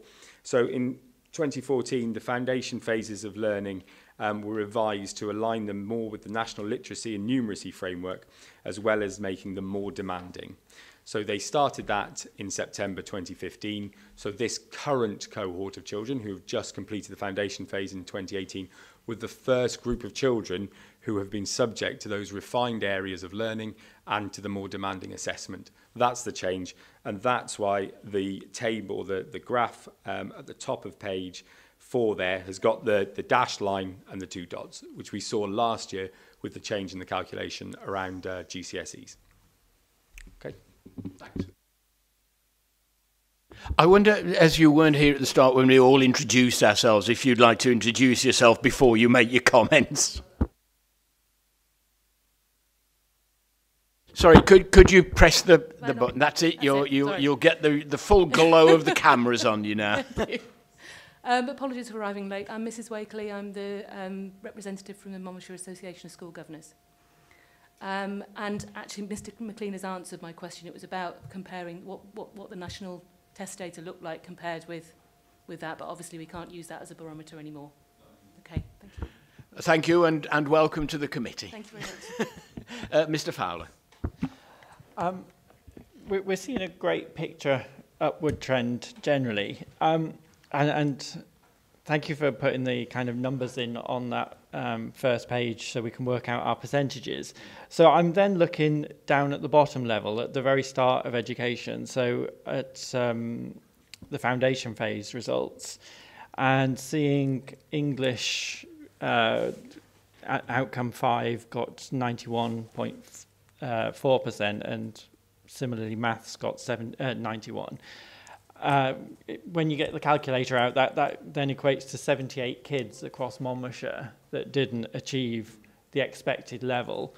I'm presuming a chunk of those will be ALN, but I'm presuming they're not all ALN. So I'm just wondering what we're doing to support those at the bottom that are not quite achieving to make sure that they do make the progress and, and have a successful future ahead of them that's the key part is about progress, and that's you know what we will come to see. And you know, as I said, I, met, I mentioned earlier the FFT piece, uh, and that very clearly differentiates between attainment and achievement. And I think for for for you as a as a select committee, I think that's something which you should really hold very close in terms of a, a real challenge to to me and to to our schools because you know attainment is something which is likely to be born out of the nature of our county largely um, because exactly as the members have commented on this morning many children come from very supportive households where they are able to be supported through their education and so on. So their attainment um, getting the ultimate the the outcome at the end is one thing. The progress that all of our children make from whatever their starting position on is around achievement and that's something slightly different. So actually being aware that when we're thinking about outcomes we're thinking in terms of both attainment which is rightly celebrated but also around achievement which I suspect at other times isn't. So you know when we think about key stage 4 if a child achieves um, an A um, but was always going to achieve an A then that's a great thing that they got their A. If a child goes from being you know traveling along with an E and gets to a D, then they've actually made a grade of progress, which in some regards actually might be a better outcome than actually the child achieving the A that they'd always had. So there's some things the way we need to think about that. Um, I, all of our schools, um, and I'm sure Mr. Fowler, you'll know from the school where you're a chair, you know, work across the whole class. Um, one of the things we had yesterday was Tracy um, Peed, who's the, um, the lead for the ALN transformation, but still talking fundamentally around the importance around differentiation, the importance of that as, um, as excellent teaching practice, the importance of teachers being able to teach similar subjects, but to the range of abilities that are in those classrooms. So um, I'm confident that um, our schools continue to work with that.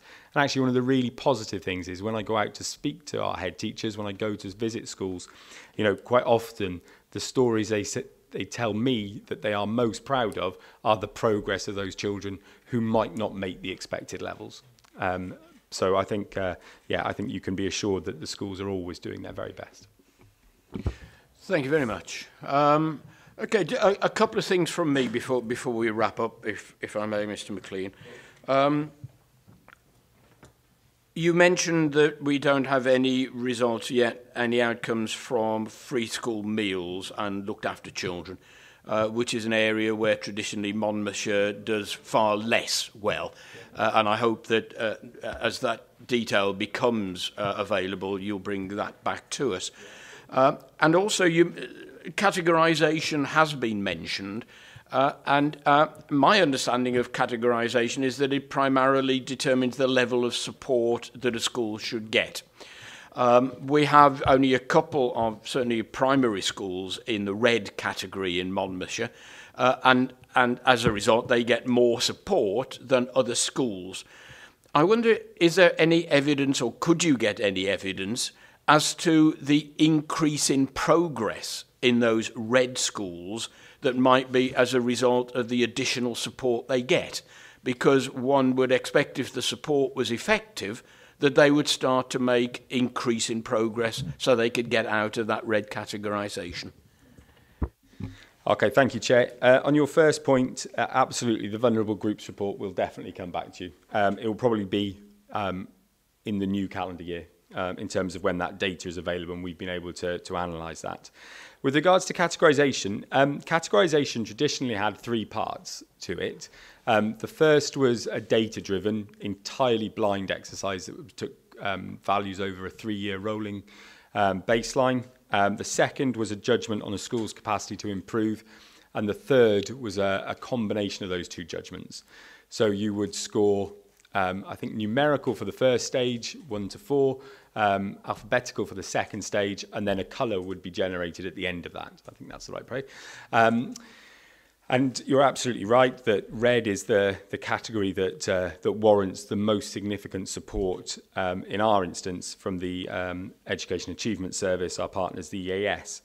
Um, categorization has changed. Um, again, um, the removal of the data-driven element means that we're now more sufficient, more focused um, around standards around teaching and learning, um, around leadership, um, and around a school's capacity to improve. So that's more about um, how categorization is undertaken. So what we would hope to see is that following significant intervention in any school, that there is um, progress. So if a school was red following significant intervention, you would hope to see that school turn amber and in due course yellow and potentially even after that into green.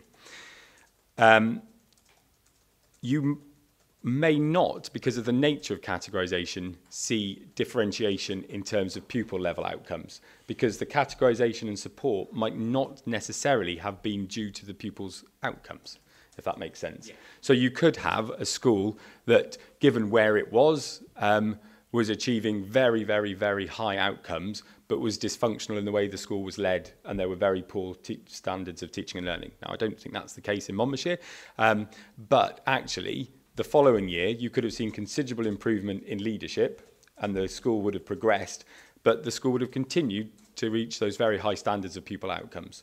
So the two are slightly, um, they are related clearly in the vast majority of cases, and I've just given an, an extreme example.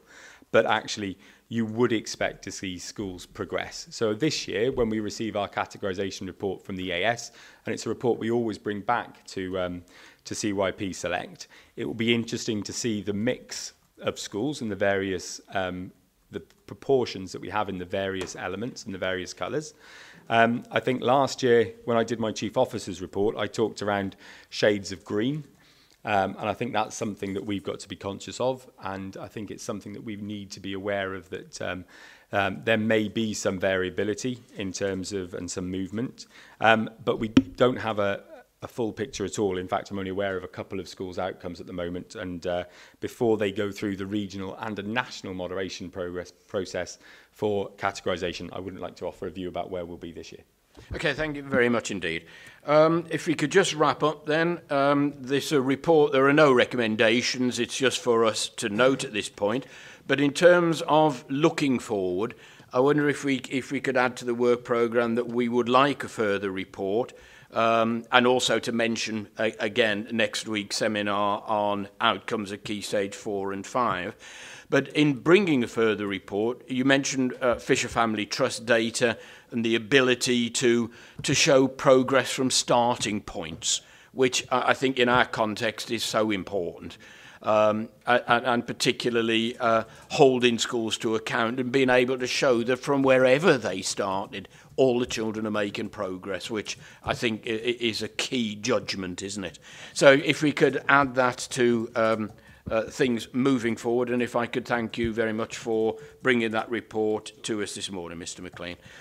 Um, So moving on then, agenda item seven is to confirm the minutes of our previous meeting. Um, members have had these for a week now, and certainly the detail in which you've scrutinised the other reports, I have every confidence it's the same with the minutes.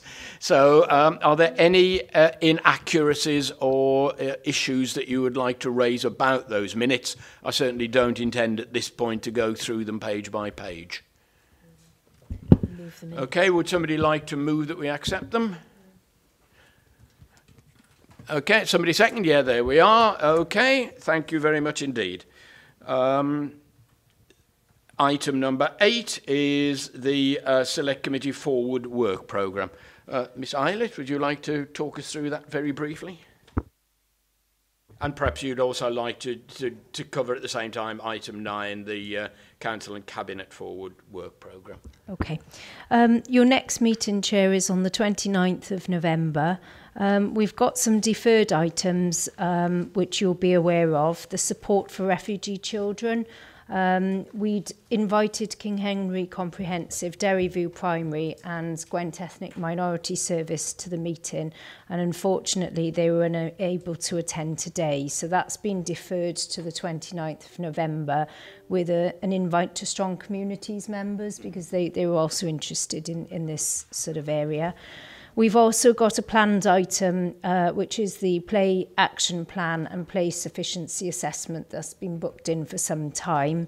And we've also got some potential other reports, a partnership agreement report. And now um, Mr McLean has, has mentioned that we've got um, a, a school uh, report on Key Stage 4. And will, will there be scope to build in the Fishers Family Trust data within that? We'll that. Is, well, because no. FFT won't have the data from that full data set by the time okay. we do that report. So that will be a first cut report from us. Okay, okay. So it, it's looking like quite a lengthy meeting, Chair, four, four items on there. Um, and then moving on through, um, we've got, that would be your last meeting before Christmas unless you chose to call a special meeting. You've then got uh, your 24th of January regular meeting, which is reserved for budget scrutiny. So we can't add anything to that. But I've, I've got some items coming out of today's meeting, which is you'd like to scrutinise um, the safeguarding arrangements in terms of home to school transport. You'd also like a discussion on family support services, particularly the recently implemented edge of care team and base. So um, if, if we were to take those and also a request from an officer to look at future options for Mounton House, it would require you perhaps calling a special meeting in January at some point, either before the budget scrutiny on the 24th or perhaps just after, depending on how time timescales fit with, with decision making. So is that okay? Yep, we can have a discussion nearer the time about the need for a, a special committee. Councillor Brown, you had a point. Uh, yes, I think it was really to do with um, uh, the minutes in relation to the uh, previous meeting. Um, it's on page uh, 74 And it says, uh, a member mentioned that there were some suggestions for topics in the last minutes. It was also suggested that pioneer schools could be invited to a future meeting to give their impression of curriculum reform and development. The chair will follow this matter up with the scrutiny manager. And it's just a question of, um, you know, that was raised as a, uh, as a potential um, forward um, uh, work programme report, and I think um, uh, the chief officer of education seemed seemed quite happy about that when it was mentioned um, before.